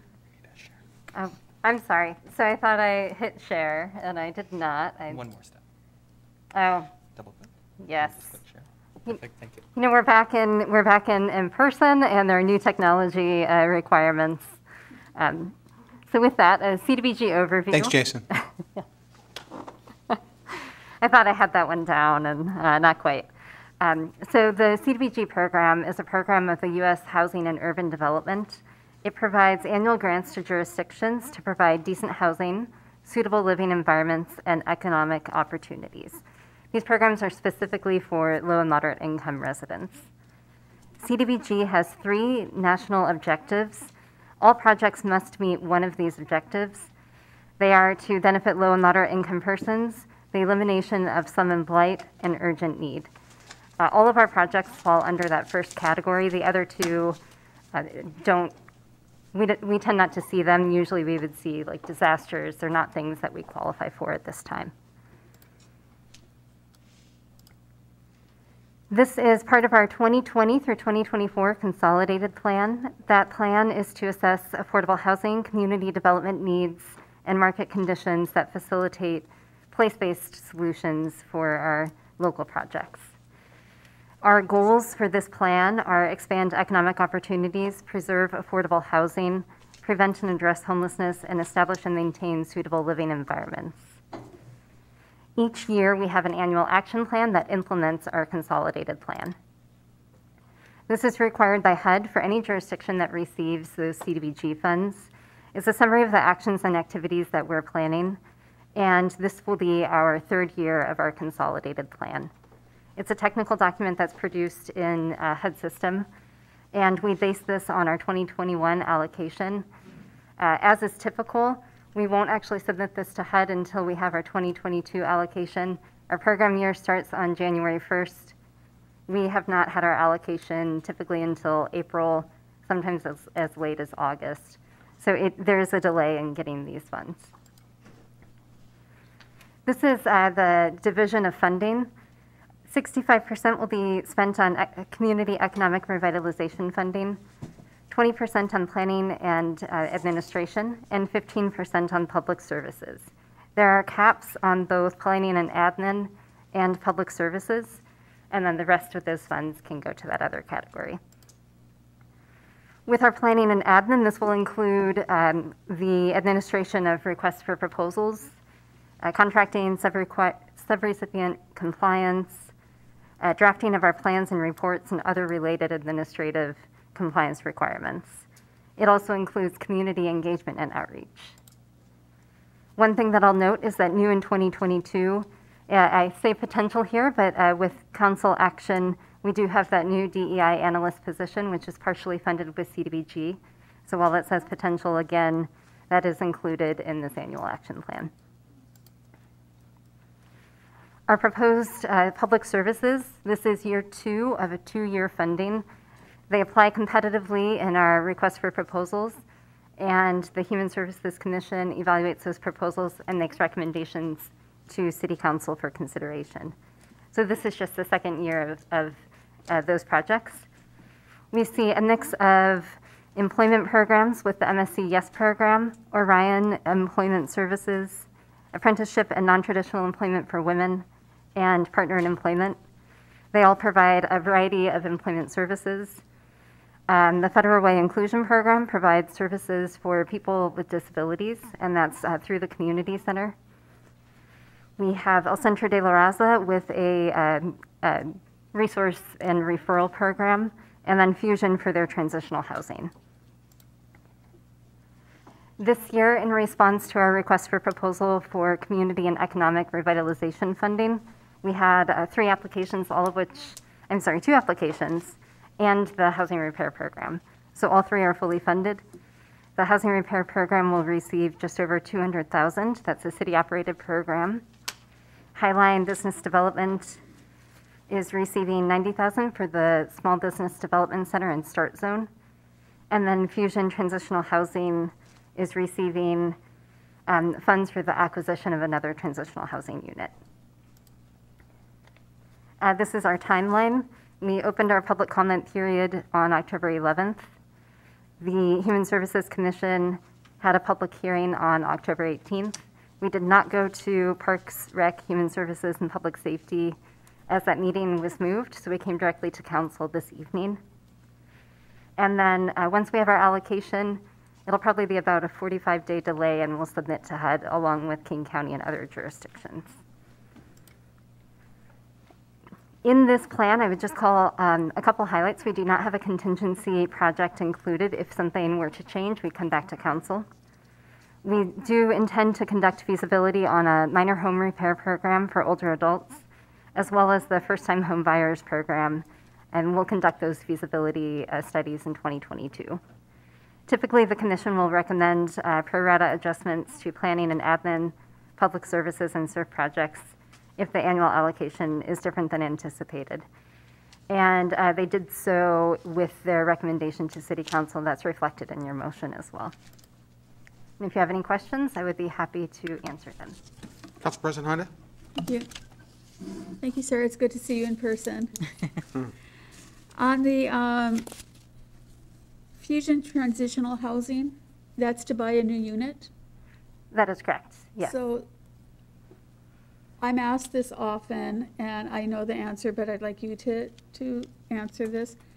If something were to happen in Fusion, we're no longer to operate the units, what happens to the, the houses that the city has purchased?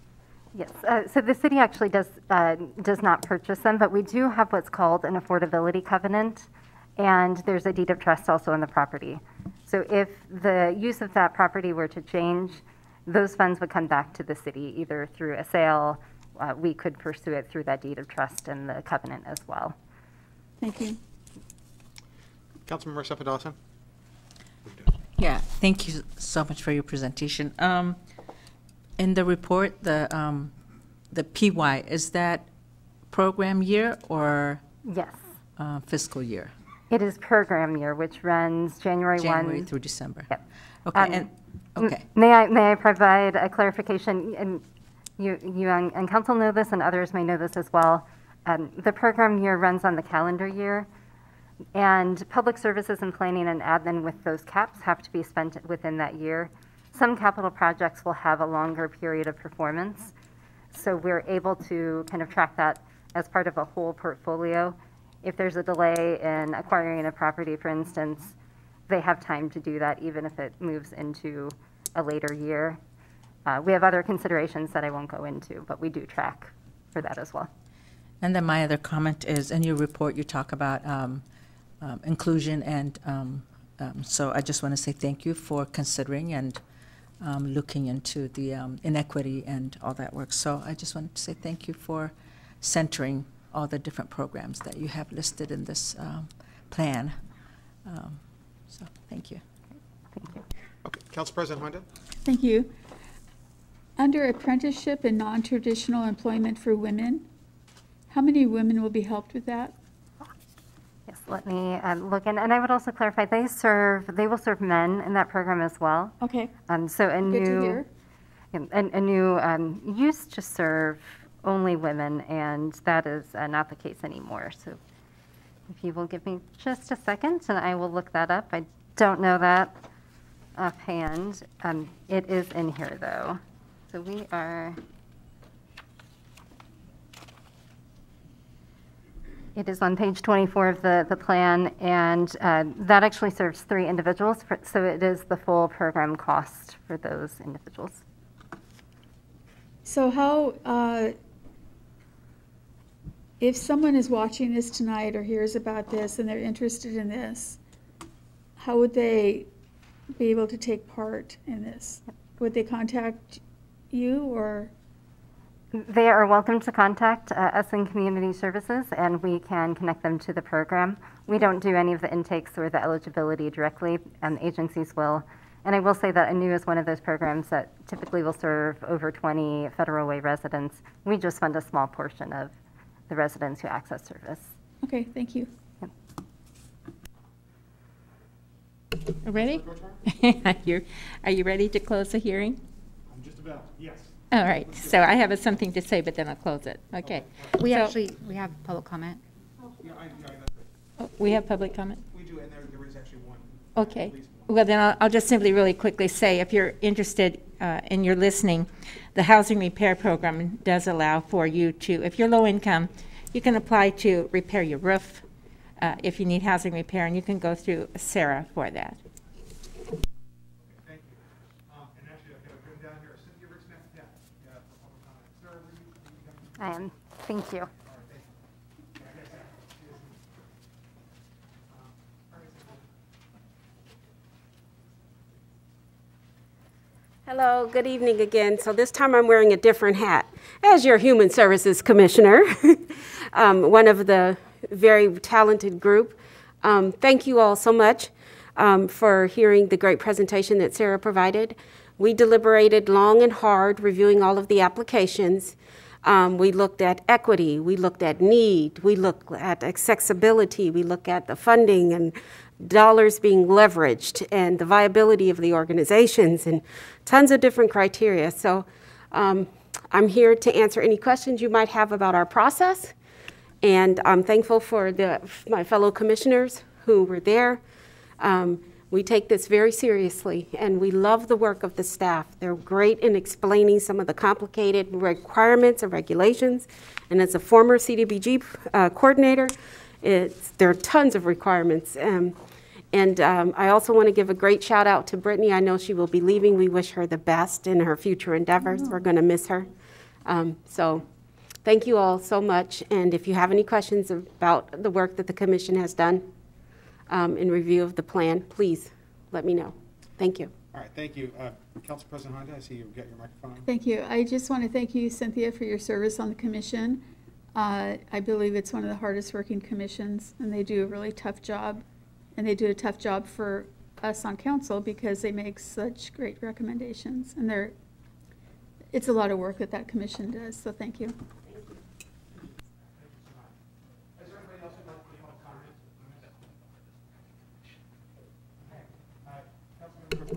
And that's exactly what I was going to say also. Cynthia, and I, I see Jack Walsh is also in the audience on the Human Services Commission. Is there, is it, would, raise your hand if anybody else is here from the Human Services Commission. Betty Taylor is. Thank you, Betty Taylor. Thank you so much. It is one of our hardest working commissions. They really pour over all of those applications and they do a fabulous job. It makes it so much easier when it finally gets to council. So thank you for your, for your hard work. Uh, So Mayor, um, I move to close the public hearing. Second? Second. It's been a motion and a second. Is there any discussion? All those in favor of closing the hearing? Aye. Aye. Opposed? All right, hearing closed. Councilman Crowe.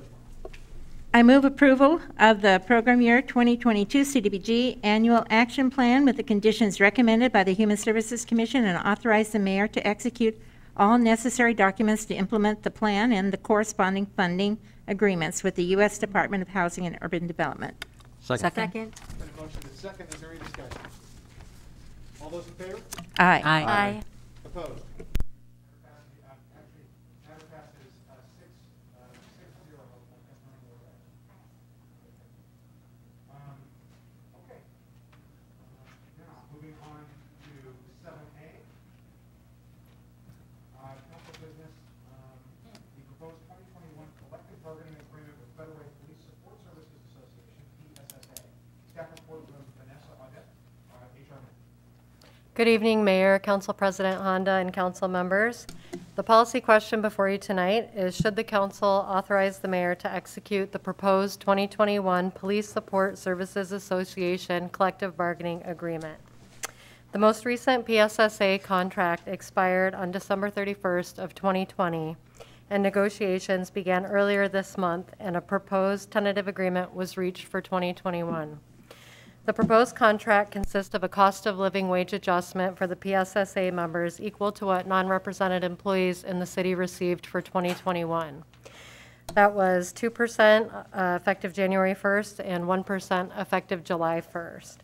The total increase to the 2021 budget is $56,693, and the total cumulative cost of the 2021 PSSA contract is $2.3 million.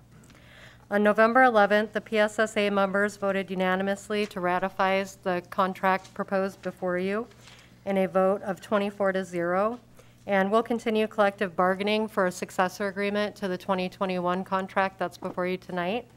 The mayor's recommendation is to approve the proposed collective bargaining agreement with the Federal Way Police Support Services Association, and as it's pretty straightforward contract, I don't have a presentation for you tonight. Do you have any questions? Council, do you have any questions?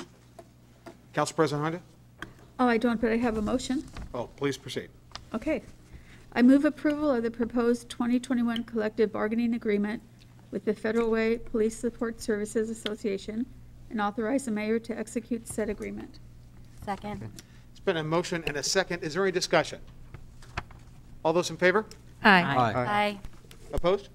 Matter passes unanimously. Thank you. Great job, Vanessa. Thank you very much. Thanks for your work on this. Uh, Item B, proposed settlement in the matter of uh, Felix, Feliz Bordonado versus Kaiser et al. Staff report from Ryan Call, our city attorney.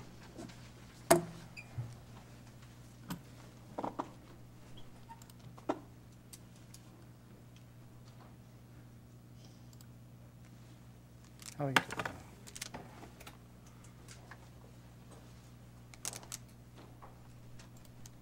You want to show me to do this, Jason?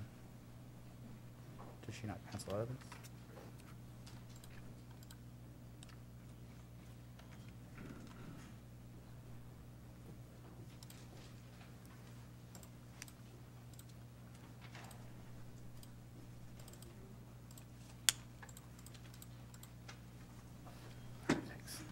Thanks, Jason. All right. Seems like it should be simple, but there's a lot of clicking. Um, I'm here tonight to present, uh, well, to seek approval for two settlements in two separate lawsuits. The first one is the Felice Bordonata v. Kaiser et al. lawsuit. We were one of four named defendants. Uh, The U.S. Post Office was one, and they were dismissed early in the case. And then there were, the driver in the, in the accident was uh, a defendant, and then um, property owner, property developer. So a little bit of background. Um, Plaintiff in this case was riding her bicycle on the sidewalk when she was run over um, by a vehicle that failed to obey a stop sign as, as it was leaving a commercial driveway.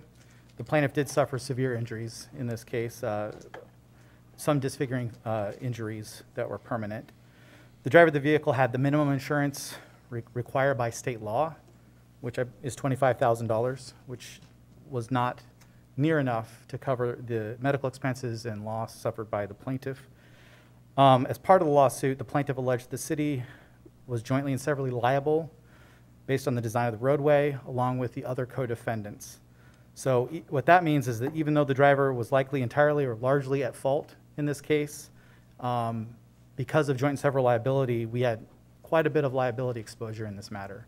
Um, Even if we were found to be 1% at fault, um, we could potentially have to pay the entire um, judgment in this matter. So with that in mind, we agreed to mediation. Um, Council's been briefed on this several times in, in executive session, but um, for the public, um, through mediation, we were able to come up with a settlement agreement. Uh, The city's share of the settlement is $425,000. It requires council approval.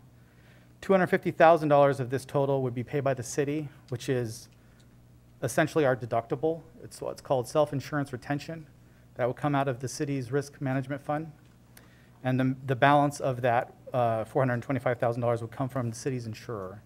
The city's insurer has already uh, agreed to this proposal as part of mediation. As part of this, the city would uh, admit no liability, accept no liability in, in the matter, but um, it does release the city from all claims in this lawsuit, and the case would be dismissed. The mayor's recommendation is to approve the settlement. Does council have any questions? Council, any questions? All right. Uh, Council President Honda, do you have a motion? I move approval of the proposed settlement. Second. It's been a motion, a second. Is there any discussion? All those in favor? Aye. Aye. Aye. Opposed? Matter passes unanimously. All right, item C, proposed settlement in the matter of Carol Williams uh, versus City of Federal et al. Ryan? I'm just going to pull up here. That's all right.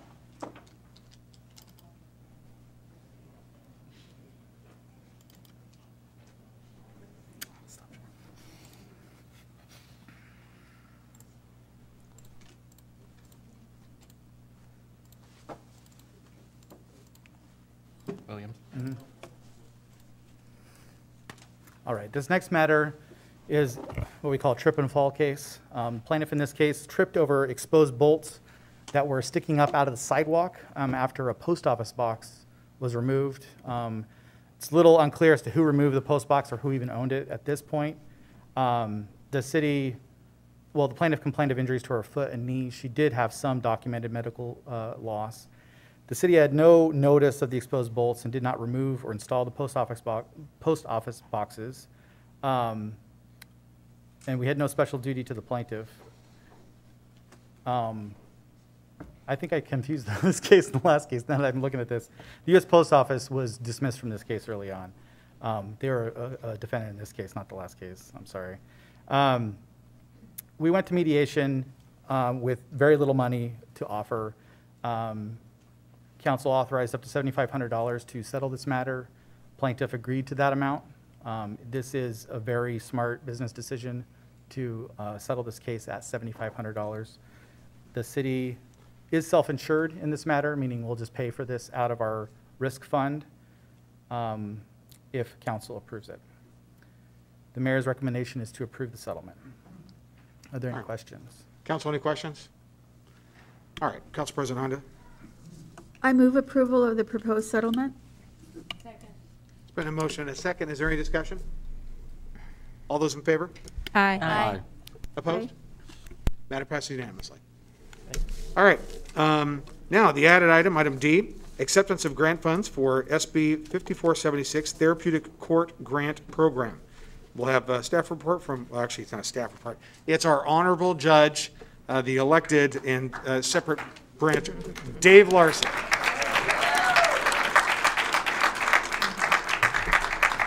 Thank you, Mayor Ferrell. Um, It was my last election. I am officially going to be retiring at the end of this term, so it's already, so uh, I got it on my phone, four years, one month, and so many days, but anyway, well, thank you for adding this. I really appreciate it, uh, Mr. Mayor and Mr. uh, uh, Ms. Council President. The, um, uh, the timing of this is such where we have, once the state sends us the the contract, we have 10 days to return it, and that's before the next council meeting. And so I very much appreciate having this added so we can get it approved. And uh, this is what we talked about earlier. The council had passed the resolution on the sequential intercept model and, and really trying to develop a real strategy for how to address people as they come through the court system and uh, kind of very deliberate in how we approach things and provide some organization. So the grant was $271,875. 24,000 of that's going to go to what's called sequential intercept mapping, which will benefit all of South King County. It will benefit, uh, in fact, Sarah Bridgeford's, uh, thank you, Mr. Mayor, for allowing uh, me to use Sarah Bridgeford in this process too. Of course. So it's going to, it's going to benefit the entirety of South King County because we'll know where every service is, how they relate to each other, et cetera. So that's going to be a big deal. The rest of it will be used for what's called uh, uh, peer navigators. And the idea is uh, that uh, we'll be contracting with uh, Peer Washington, Peer Kent specifically, to uh, provide peer navigators, people with lived experiences that will actually help people navigate the system. And that's what we'll be using that for because that'll be the interface that's missing right now. Because once we, the really where the failure comes in is when the court orders somebody to go do something, and a lot of the folks can't figure out what day it is, and we're asking them to go all do this stuff, and they, they're incapable of getting it done, they fail, they go to jail, all kinds of things that happen because we're not out there trying to, at least until they're able to be on their own two feet, uh, uh, we're not, we have nothing helping them. You know, probation is something that's been traditionally used, but we're not in traditional times when it comes to these issues. So, so the peer navigators will, will help. This is basically a demonstration a project is what we're doing. I've been asked by Representative Goodman to speak on Thursday to the Public Safety Committee of the House of Representatives on this concept.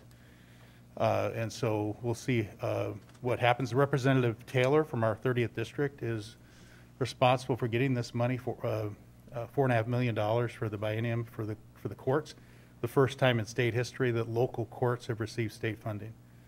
And so uh, this will go a long way because we're dealing with an issue that isn't all the cities are forced to fund the response in within their city, but it's really a regional issue. And all you got to do is be involved in the system, see how it gets pushed from city to city to city. And by kind of partnering, which was what we're doing with Des Moines in this demonstration project, partnering with this, we can show how you can actually uh, have a real strategy that'll work. And uh, it won't work for everybody, but uh, it will work. Uh, at least we won't fail on our end. And we, we've been failing on our end when it comes to the lack of any deliberate plan or organization to keep people successful. So I'll be glad to answer any questions, but I greatly appreciate you passing this this evening. Well, first, thank you being, Your Honor, thank you for being such a leader on this issue. Thank you. And we very much appreciate your, uh, t- tell the group about your, your motto about the, uh, I run a repair shop, not a junkyard, and that's it. and that's very well stated. And I, for a person who spent three years in a municipal court before I became a county prosecutor, I think you've really, you know, we're all in your debt for your leadership on these issues. Well, I'm only one person. There, we got Judge Robertson, we got Yep. all the staff and the prosecutors and the defense attorneys, probation. Yep. All the folks that really uh, make this thing work. Appreciate And- it. And sometimes we don't make it work, and that's what we're trying to fix. That's right. Okay, um, oh, Councilmember uh, Craft? Uh, Yes, thank you, Mayor, and thank you, Judge Larson Larson, for being here and for uh, advocating for the sequential intercept model. I know that we've talked about this in our conversations, but for the public who are here and who are watching, it's my understanding that the peer navigators will have a release of information when they, when they, um, are, so they're able to report back, Yeah, yeah, they, they, we were gonna employ them by the court, but we decided to keep it separate so that there'd be some confidentiality. But they'll be, they'll, the, um, the, the, the, the model I wanna use is, I don't, it doesn't have to be connected to a case. Mhm. So in other words, somebody comes in, it could be on a, a suspended license charge where there's real no ongoing supervision. But if somebody needs services, the peer navigator will help them navigate to get them. And, uh, but it could, and it could be all the way to our community court, but, uh, but yeah, there'll be some reporting back. We want, we really want the trust to be built up. Uh, we're gonna look more at results. Um, we're going to uh, be using different, um, measurements to see how successful things are. Uh, but, uh, really, um, you can imagine anybody that's, uh, that's struggling with a behavioral health issue, and then the court gives them this laundry list of things to do, and then just says you're on your own. But that, we will be using some of those in the community courts especially. Some of the other issues, we may not be as, we may not be monitoring folks as much. It's going to be more, because I've talked about this before, there's individual impacts and there's community impacts. Individual impacts, a lot of people never commit a crime, but yet they have behavioral health issues, uh, addiction, mental illness. We have other people that cause community impacts. Mhm. The idea of the courts is, the perfect thing about the courts is that it's where those two intersect. And the idea is to push people back to dealing with their individual impacts and not creating community impacts. So, so this is similar to the lead model? Yes, in fact, well, it's lead for courts essentially. Yeah. But it's not necessarily diversion. There could be, it could be a suspended sentence where somebody's actually sentenced. It could be an agreement called a stipulated order of continuance where it's an agreement if they do cer- certain things, the charges will be dismissed. But the idea is to make it kind of the Swiss Army knife. Sure. And to meet, to p- meet people where they are and try to, try to, like I use this analogy all the time. Right now, it's like a jigsaw puzzle. And we all in the, in the industry see our piece of the puzzle and we think we're the answer, right? But all the people we serve see is a bunch of jigsaw puzzle pieces strewn about. Great. And the idea is to make them the jigsaw puzzle and see what's missing in them and fix that. And I I guess my last question is, will any of the funding be able to go to the city prosecutor's office? It's not, it's not dedicated for that, but, uh, but it, it, the bottom line is this year, in fact, the purpose of the meeting Thursday is to look at, uh, my understanding, to provide more funding. This was, we had, uh, in terms of the grants, we had, uh, nine million dollars in grant applications for four and a half million. So, uh, it's not all about money either. My presentation will be about, it's gotta be about coordination. It's about using, using resources in a, in a, in a intelligent, strategic way. Because right now, we're very program-based. We're about making the person fit the program instead of the program fit the person. Great. And Thank need- you. So, anyway, I don't know if I'm answering your question. No, you did. Thank you. I thanks. appreciate it. All right. Any other uh, Councilmember Kochmar? Thank you, Mayor. Uh, Judge, so um, without getting into a lot of discussions on different, with, with the sequential intercept model, it, it gets a little confusing. So let's say, I've always said that if a kid gets caught, they're the lucky ones. So say I'm a kid, you, I don't know who gets arrested anymore. It used to be for a misdemeanor in municipal court, it'd be like shoplifting or, Yeah. but let's say a kid comes to your court and you're using this model. Let's say I'm a kid and I'm just new to your court. What happens to me? Okay. So uh, when you're talking about the system itself, there's different stages of the process. There's, uh, the sequential inter- intercept model has six stages. The the zero, um, uh, intercept zero is the community. Intercept one's law enforcement. Intercept two is the initial appearance in court. Uh, yeah, yeah, in, in, initial appearance in court.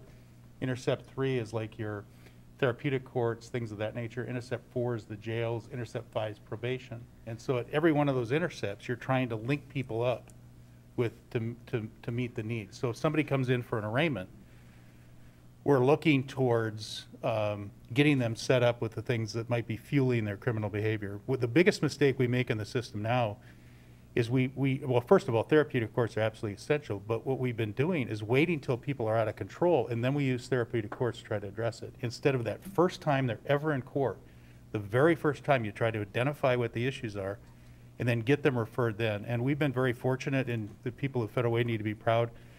We're the only municipal court uh, in King County that's partnered with King County on a program called PALS, uh, Pretrial Assessment and Linkage Services, where we can get people assessed within 24 to 48 hours and get them on the track for wraparound services and everything after their arraignment. So that's intercept, intercept two, we get them in the arraignment. And then when there's dispo- disposition of the case, right, uh, either some kind of disposition, you're always looking to get them into services.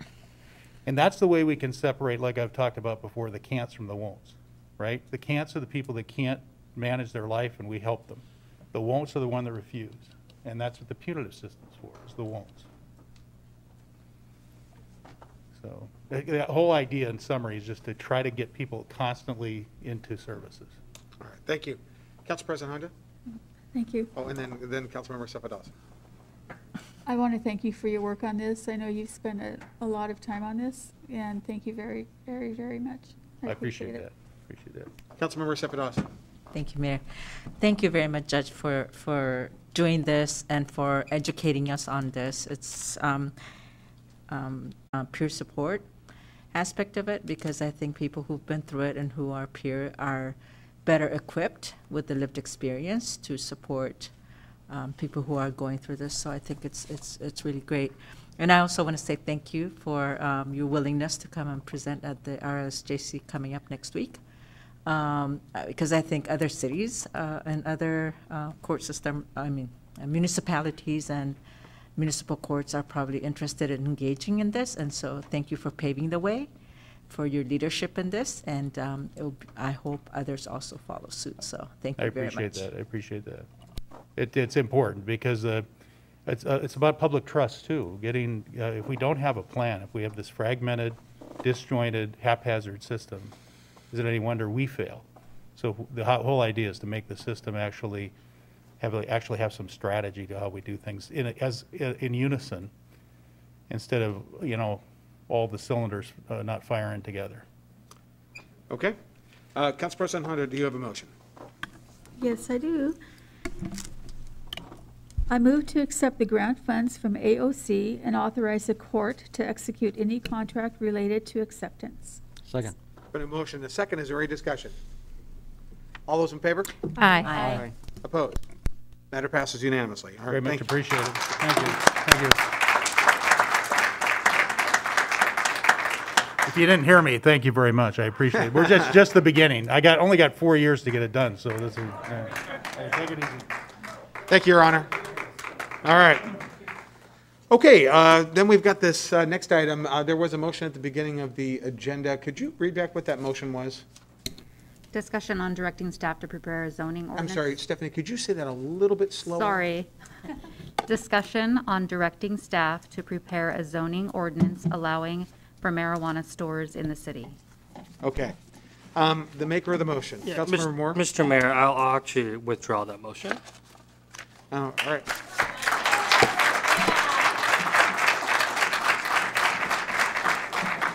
And do we need to have the person who seconded that motion withdraw their second, Counselor? We can't withdraw it, it's already been taken action on, but we can just take no action on the item and move on. Okay, all right. Uh, That, that we can do. All right, thank you. Item eight, uh, first reading, this is item, uh, item A, under 8A, Council Bill 815, uh, 2021, 2022 mid-biennial budget adjustment. This is what we did before. Uh, We already had the staff presentation, actually, we've had it several times now. Uh, Do we have any public comment? Uh, And uh, uh, Steve Groom is here if you have any uh, questions. Council, any questions uh, uh, before I turn this over to public comment? Any questions of Director Groom? Okay, any public comment, Stephanie? No, we don't have anyone signed up. Okay. Um, Council discussion, any comments? Okay. Would the city clerk please read the ordinance title? Council Bill 815, 2021, 2022 mid-biennial budget adjustment, an ordinance of the City of Federal Washington relating to amending the 2021, 2022 biennial budget. All right. Uh, Councilmember Tran, do you have a motion? Uh, Mr. Mayor, I, I move to forward the proposed ordinance to the December 7, 2021 council meeting for second reading and enactment. Second. Second. It's been a motion, and a second. Is there any discussion? All those in favor? Aye. Aye. Aye. Opposed? Matter passes unanimously. Thank you, Steve. All right, item B, Council Bill uh, 816, the 2022 property tax levy, uh, fixing the property tax in the amount for the year 2022. Um, Director Groom, do you have a report? I do. Thank you, Mayor. I have, uh, council members, I have got seven slides. One of them is interesting. This is about, but this is about taxation. This is, this is property tax. This is the people's money, and we do this once a year. We are not in a budget process this year, but every year we do uh, request the county how much, uh, we, we, we communicate to the county how much we are requesting for a tax levy. So we do take this seriously. Uh, What I, what I have here, if I can get uh, my slides to advance. Um, This is a fairly uh, highly, it's a highly regimented process. Uh, It's, it's highly regulated by state statute and by the uh, uh, processes of the county. Uh, We do request a levy from the county, but as you probably know, the state of Washington uh, caps the amount of tax, uh, property tax that can be levied on existing property values. This city doesn't have a lot of growth, so that means that a large degree of our uh, valuation is capped. Now, the county supplies all the data, so we don't have hardly any discretion at all. The uh, county assessor uh, uh, takes care of the uh, assessed values. They also do the tax collection and they remit it to us. So what they ask of us is that to fill out their forms using their formulas and it, and we have two opportunities to do poorly. There's not very much of an upside. One way that we can uh, uh, lose is we can we can actually request less than we're allowed to, and then the second way that we can lose, if you will, is they will only remit what they actually collect. So it doesn't matter how much we ask for; they're only going to remit to the extent that uh, that that they collect. So what I've done is I have uh, in in your packet I've kind of noted uh, where I've gotten my numbers from on their form that that we communicate to them. Why we also just refer to the the valuation form that, that they that they send us. Um, so in your packet here, you've got labels A and B, and we transfer the number over to them. Now, there's in the lower right, hand, lower left-hand corner there, you've got a couple numbers, 110,000. Those actually appear in the ordinance, and so you might be reading the ordinance and, wondering, well, where did I get those numbers? Well, I got it from their their their their uh, assessed valuation form. So this is the slide that I think is interesting. Every citizen is probably interested in this. The top bar shows the aggregate value of all the property in the city. And I've shown in the last three years, the value uh, has increased 6%, 6%, and 13%. The bottom graph is what our uh, property tax revenue here to the city, this is what funds our budget. It's gone up 1%, 2%, and 3%. That's largely due to the tax cap. Now, when we, when we look at sales tax, we consider that a real economic indicator. When businesses thrive, our sales tax comes in and our budget does well. Well, when we do a good job of taking care of our streets, our public safety, and this is a great city to live in, our property values goes up, but our revenue does not come uh, close to increasing in that same amount. Well, good for us for running a great city. What we've done is we've increased the personal wealth of the people that own property in the city. I know that that means that they feel like they're paying more taxes. However, that's their value when they go to sell. It's their uh, it's it's their personal wealth. So this is an interesting slide. Good for you. Good governments. Good governance of the city. We are going to be asking for the the the, the uh, greatest amount allowable because. Uh, guess what? Our uh, the cost of our uh, our salaries, the cost of living, our benefits, the cost of insurance, those all go up with the you know consumer price index. For for example, our property tax does not keep pace. So, having said all that, um, in your packet, you've got a, uh, an, an ordinance that, that, that will be requesting of the county that they uh, uh, remit to us the, the greatest amount that is possible to us. Uh, it's completely formula driven. The assessed value is not determined by us. We also don't determine the tax rate. The tax rate is just a, a matter of dividing the, the value by the, uh, by the levy. Um, so that is as interesting as I can make it, but it's important, and staff recommends that you, I believe, uh, this is, this is the first hearing, so the uh, ordinance won't be till the next meeting. I'm here for any questions, that, uh, and thank you for your time. Councilmember Kochmar, your microphone is on. Did you have a question? All right. Council, uh, any other questions? All right. Uh, Do we have any public comment uh, for this, Stephanie? Nobody signed up, no. Okay. Uh, Council discussion?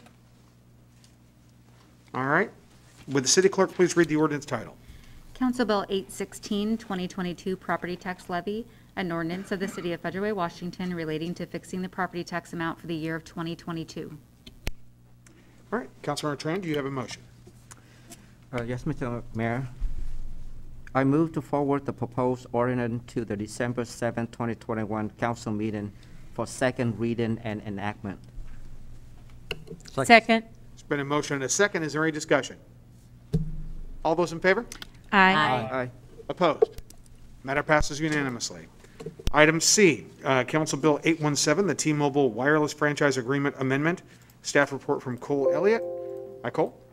Um, uh, With Public Works. Exactly. Thank you, Jason.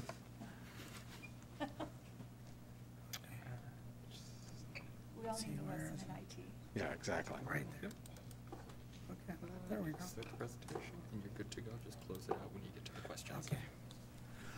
Good evening, Mayor, Council President Honda, members of the council. I come before you tonight with the T-Mobile wireless franchise amendment. The policy question that we're asking is, should the council approve entering into a franchise amendment for the T-Mobile wireless for one of their macro facilities? T-Mobile Wireless, as part of background, was approved for a franchise in November of 2015 to install wireless facilities. It has requested to amend this agreement be through, for a facility that they've obtained through mergers and acquisitions.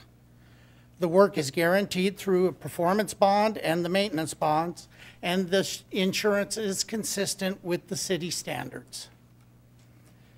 A little bit more, uh, excuse me. Uh, Wireless demand has seen an exponential rise within the last few years, and to be competitive, the cities must keep up with the technology. The demand will be met through the implementation of a 5G network. T-Mobile relies 5G on their macro tower system um, with just putting new technology into the existing towers. And we're just showing a little graphic of the difference between a macro tower and the small cells that everybody hears about. Uh, Here's one of the macro towers, everybody's used to them. The financial impacts, uh, $2 million deposit for the franchise, uh, sorry, $2,000 deposit for the franchise amendment was made. The existing franchise will expire in November of 2025. We asked them if they wanted to just renegotiate, and they just wanted to include this in. Uh, The right-of-way permits will still be required for any installation and work.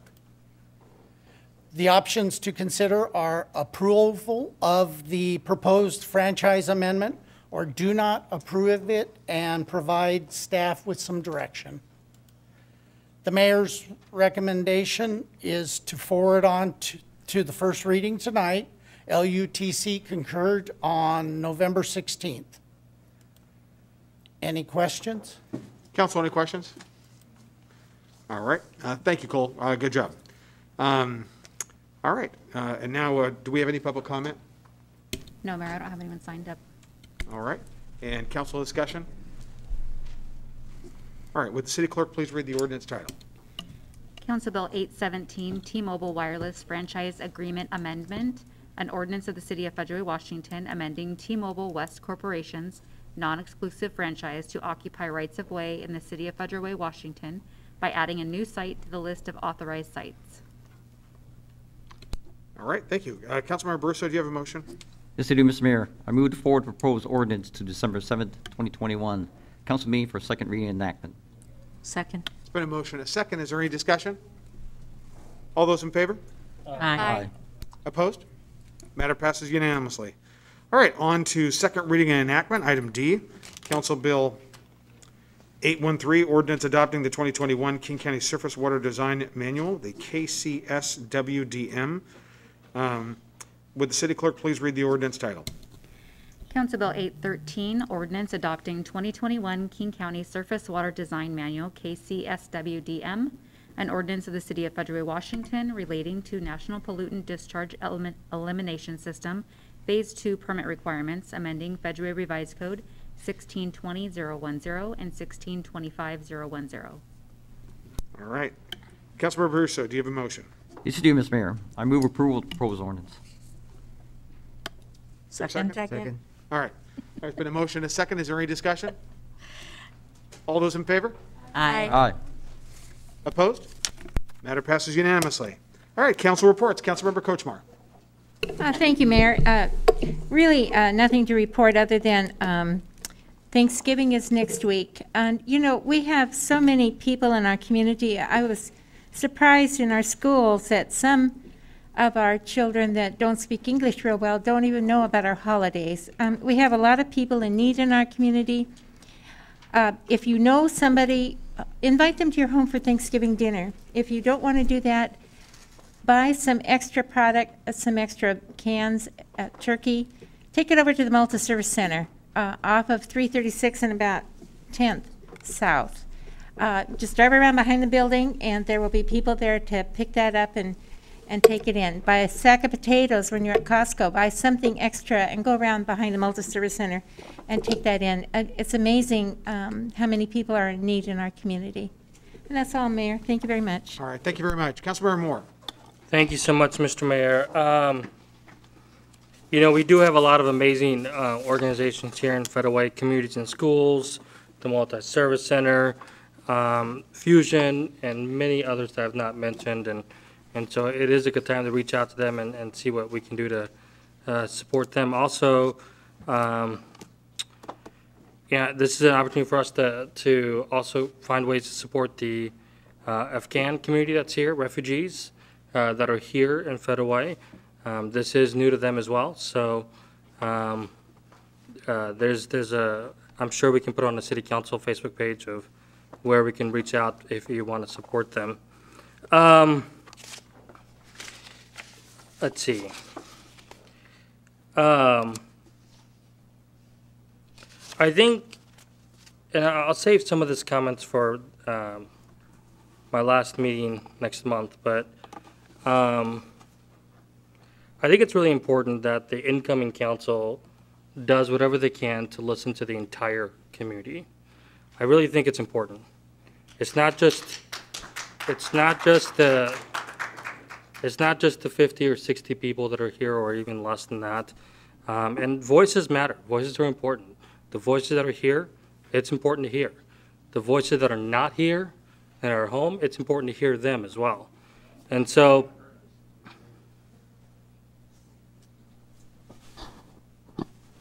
so, um, so I, I urge the incoming council to to work on a diverse set of issues, not the issues that are most comfortable to them, but to think outside the box, talk about issues that are maybe not uh, popular, talk about it, because that's the role of government.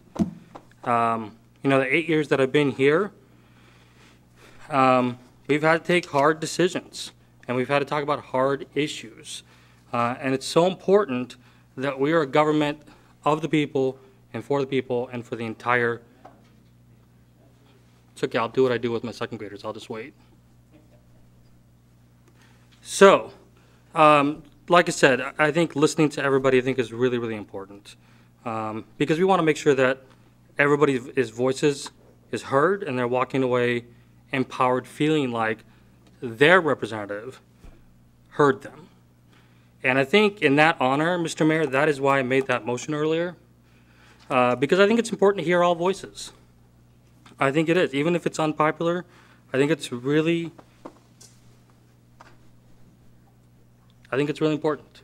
Um, and so I just want to thank uh, my colleagues that uh, were willing to have that discussion, but I also want to respect these voices that are here um, and saying, okay, um, we'll um, we'll put this to the side. Uh, but I think it's like I said. I, I think when it comes to, well, I'll, I'll stop there. Um, I think the rest of my comments, uh, I'll just leave it to my closing comments at the next council meeting. Thank you. Councilmember Craft. Thank you, Mayor. Uh, Thank you, first of all, for everyone who's continuously been involved in local politics, been, been willing to listen to me. I hope that even if we had- did not agree on a lot of issues, I hope that you feel like when you spoke to me that I respected you, because I do respect you, even though, even if we disagree. I just want to say thank you to the staff for the city for welcoming me during a time that was so difficult because we weren't even able to see each other in person. Uh, I just wanted to sort of reiterate something that Councilmember Moore said, is as council members, we don't just represent the voters, we represent all of the residents of Federal Way, and that includes the people who didn't and can't vote. Um, and regardless of how people vote and if we have differing opinions, I hope that more people get involved and that people vote uh, and get involved in local politics because local politics really does impact you much more than national politics, much more than statewide politics. And that's something that I personally didn't, and I wasn't aware of three years ago, really how much local politics uh, impacts. So there are going to be some big decisions that the council is going to make in the future, including, you know, how development is going to be in downtown.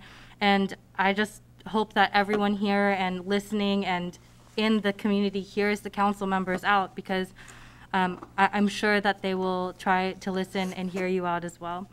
Uh, like Councilmember Kochmar said, it's going to be Thanksgiving season next week, so I just want to remind people that not only are places taking donations for food, but uh, there are a lot of clothing donations that are happening around our city and um, you know our county and our state, and that's really important because it, it I'm not sure if you all are feeling it like I am, but it's very cold lately and it's windy and it's rainy, um, and and people need clothes. So if you have extra coats, if you have extra socks, that those are some items that are really in need right now. Uh, but other than that, it's been a pleasure, and I hope to see people around the community. Please feel free to say hi to me. Um, I, I am a friendly person and willing to talk, even when we disagree. So thank you.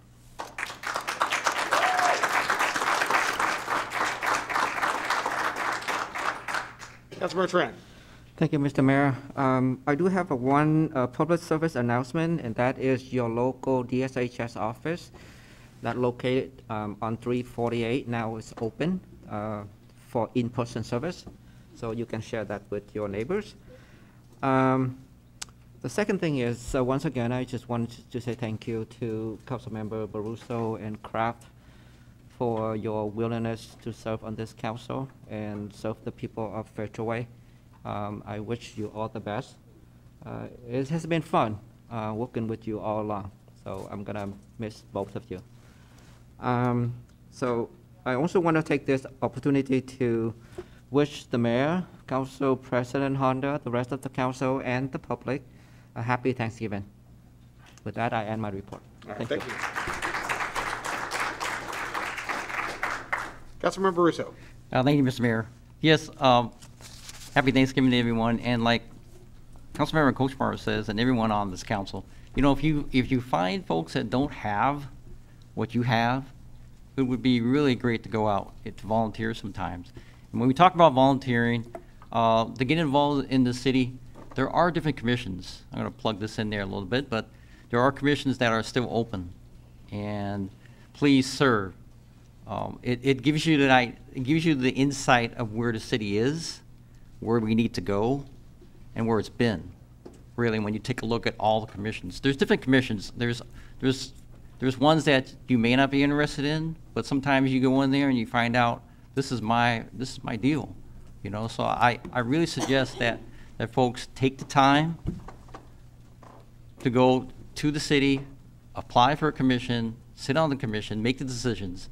Like we saw, like, like Cynthia does on the Human Services, they do a lot of work. There's a lot of commissions that do a lot of work.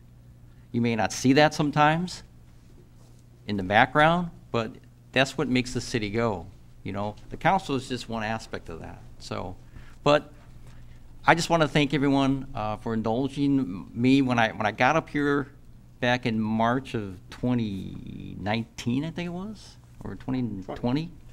Yeah, you know, I said, you know, I was I was going to take this and and not squander this opportunity, and I think I have not. I appreciate everyone's patience. Um, I do say to the new folks coming in, please serve with compassion and listen, because that's what it's all about up here, and to serve. Again, service is really rewarding. So I thank everyone. Thank you, staff, again, for everything. My colleagues, Mayor, um, thank you very much. And, uh, uh, and it, I, I'm happy Thanksgiving, and, and I probably won't see anyone, but, but I'll see, you'll see me around, but also please have a safe holiday. Thank you.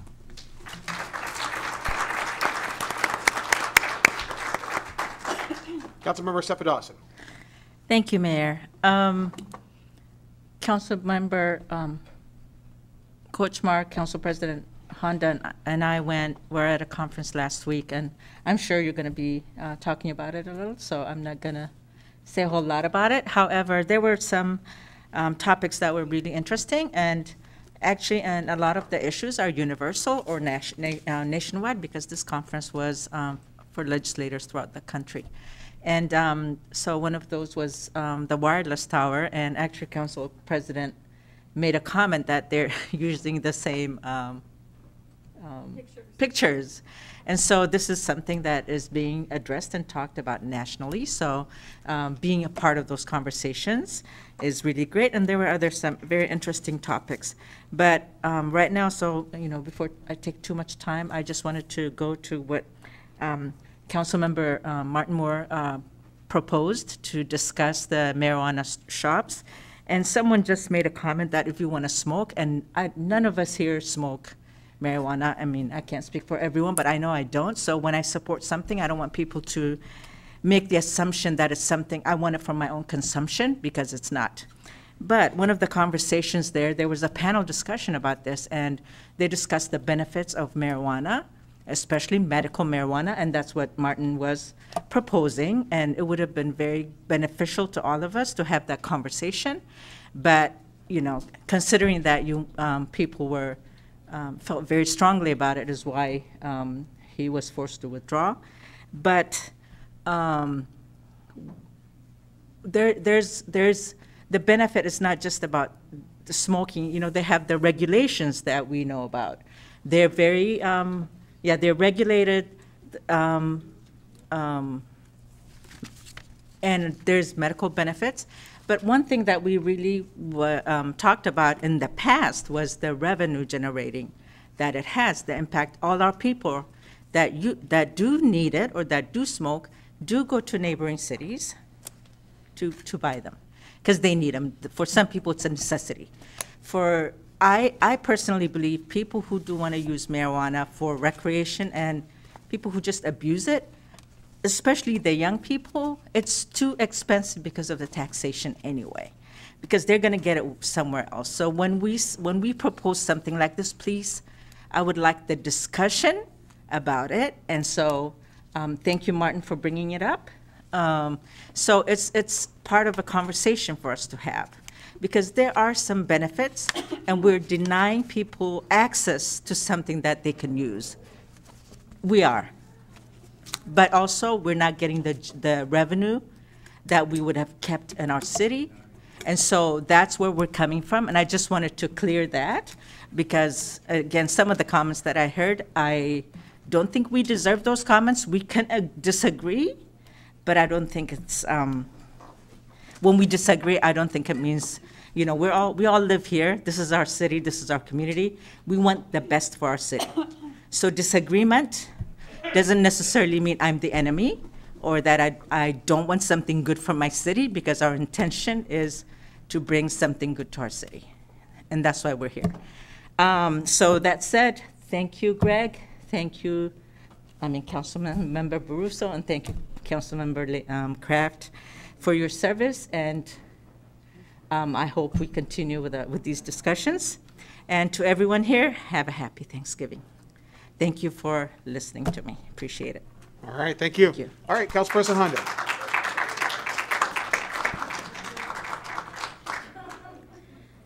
So, uh, uh, Councilmember Assefa Dawson was talking about a conference that we went to last week, the National Foundation of Women Legislators. And this is truly an amazing conference because, first of all, they offer every woman who comes a scholarship. So most of the trip was completely paid for by the organization. And um, it's a conference where you're not a Republican or a Democrat, you're a woman legislator. You're not introduced as a Republican or a Democrat. You're not, it's not even ever mentioned. We're all working together, and that's what really is the most important thing for any legislator, is to work together and to work well with others. So uh, we had a very rushed session. It was the last conference I went to before COVID and the first conference I went back to. And um, one of the sessions that we had was on community policing. And we had a sheriff from Michigan and uh, some legislators from Michigan talking about their policies on community policing. But what was the most interesting thing about that was that the sheriff said that community policing and hiring social workers is not cheaper. It's actually more expensive. He believes in it. He believes in putting a, an officer and a social worker into a police car together, but it's not cheaper. And that anyone in the audience who thought it was cheaper needs to, to think about that because it, it's a, it's a good thing, but it doesn't save your city money. It will cost more. So I think as we go through our budget for the next year, we, we really need to, um, to realize that. And I'd like to thank uh, Jerry Lynn Clark for all of her help in getting us there. Um, Organizing travel right now is not an easy feat. Our first flight was canceled, and it took several weeks to get new flights to get down to Tennessee. So thank you very much, Jerry Lynn. A few weeks ago, we had a police officer that shot uh, in Puyallup as he was on his morning jog, and um, thank goodness that Officer Hebner is home and recovering. I have a son who's a police officer, and I can't imagine getting that phone call. And um, I'm just extremely grateful that uh, he was able to be saved. He had a very, very serious injury, and that he's home and re- recovering. And my prayers continue to be for him and his family. I hope that the the people that shot him are caught, apprehended, and prosecuted, and don't do this to anyone else. Um, I would also just like to take this time to thank council members Baruso, who I've known for a very long time because we worked together on the Diversity Commission, and Councilmember Craft, who I first met at Panera. And uh, thank you for your service. Thank you for stepping up and volunteering to, to run, and uh, for the appointments and then for office. Uh, Thank you very much, I appreciate it. And um, thank you. Okay, with that, have a happy and safe Thanksgiving. Thank you very much. We are adjourned.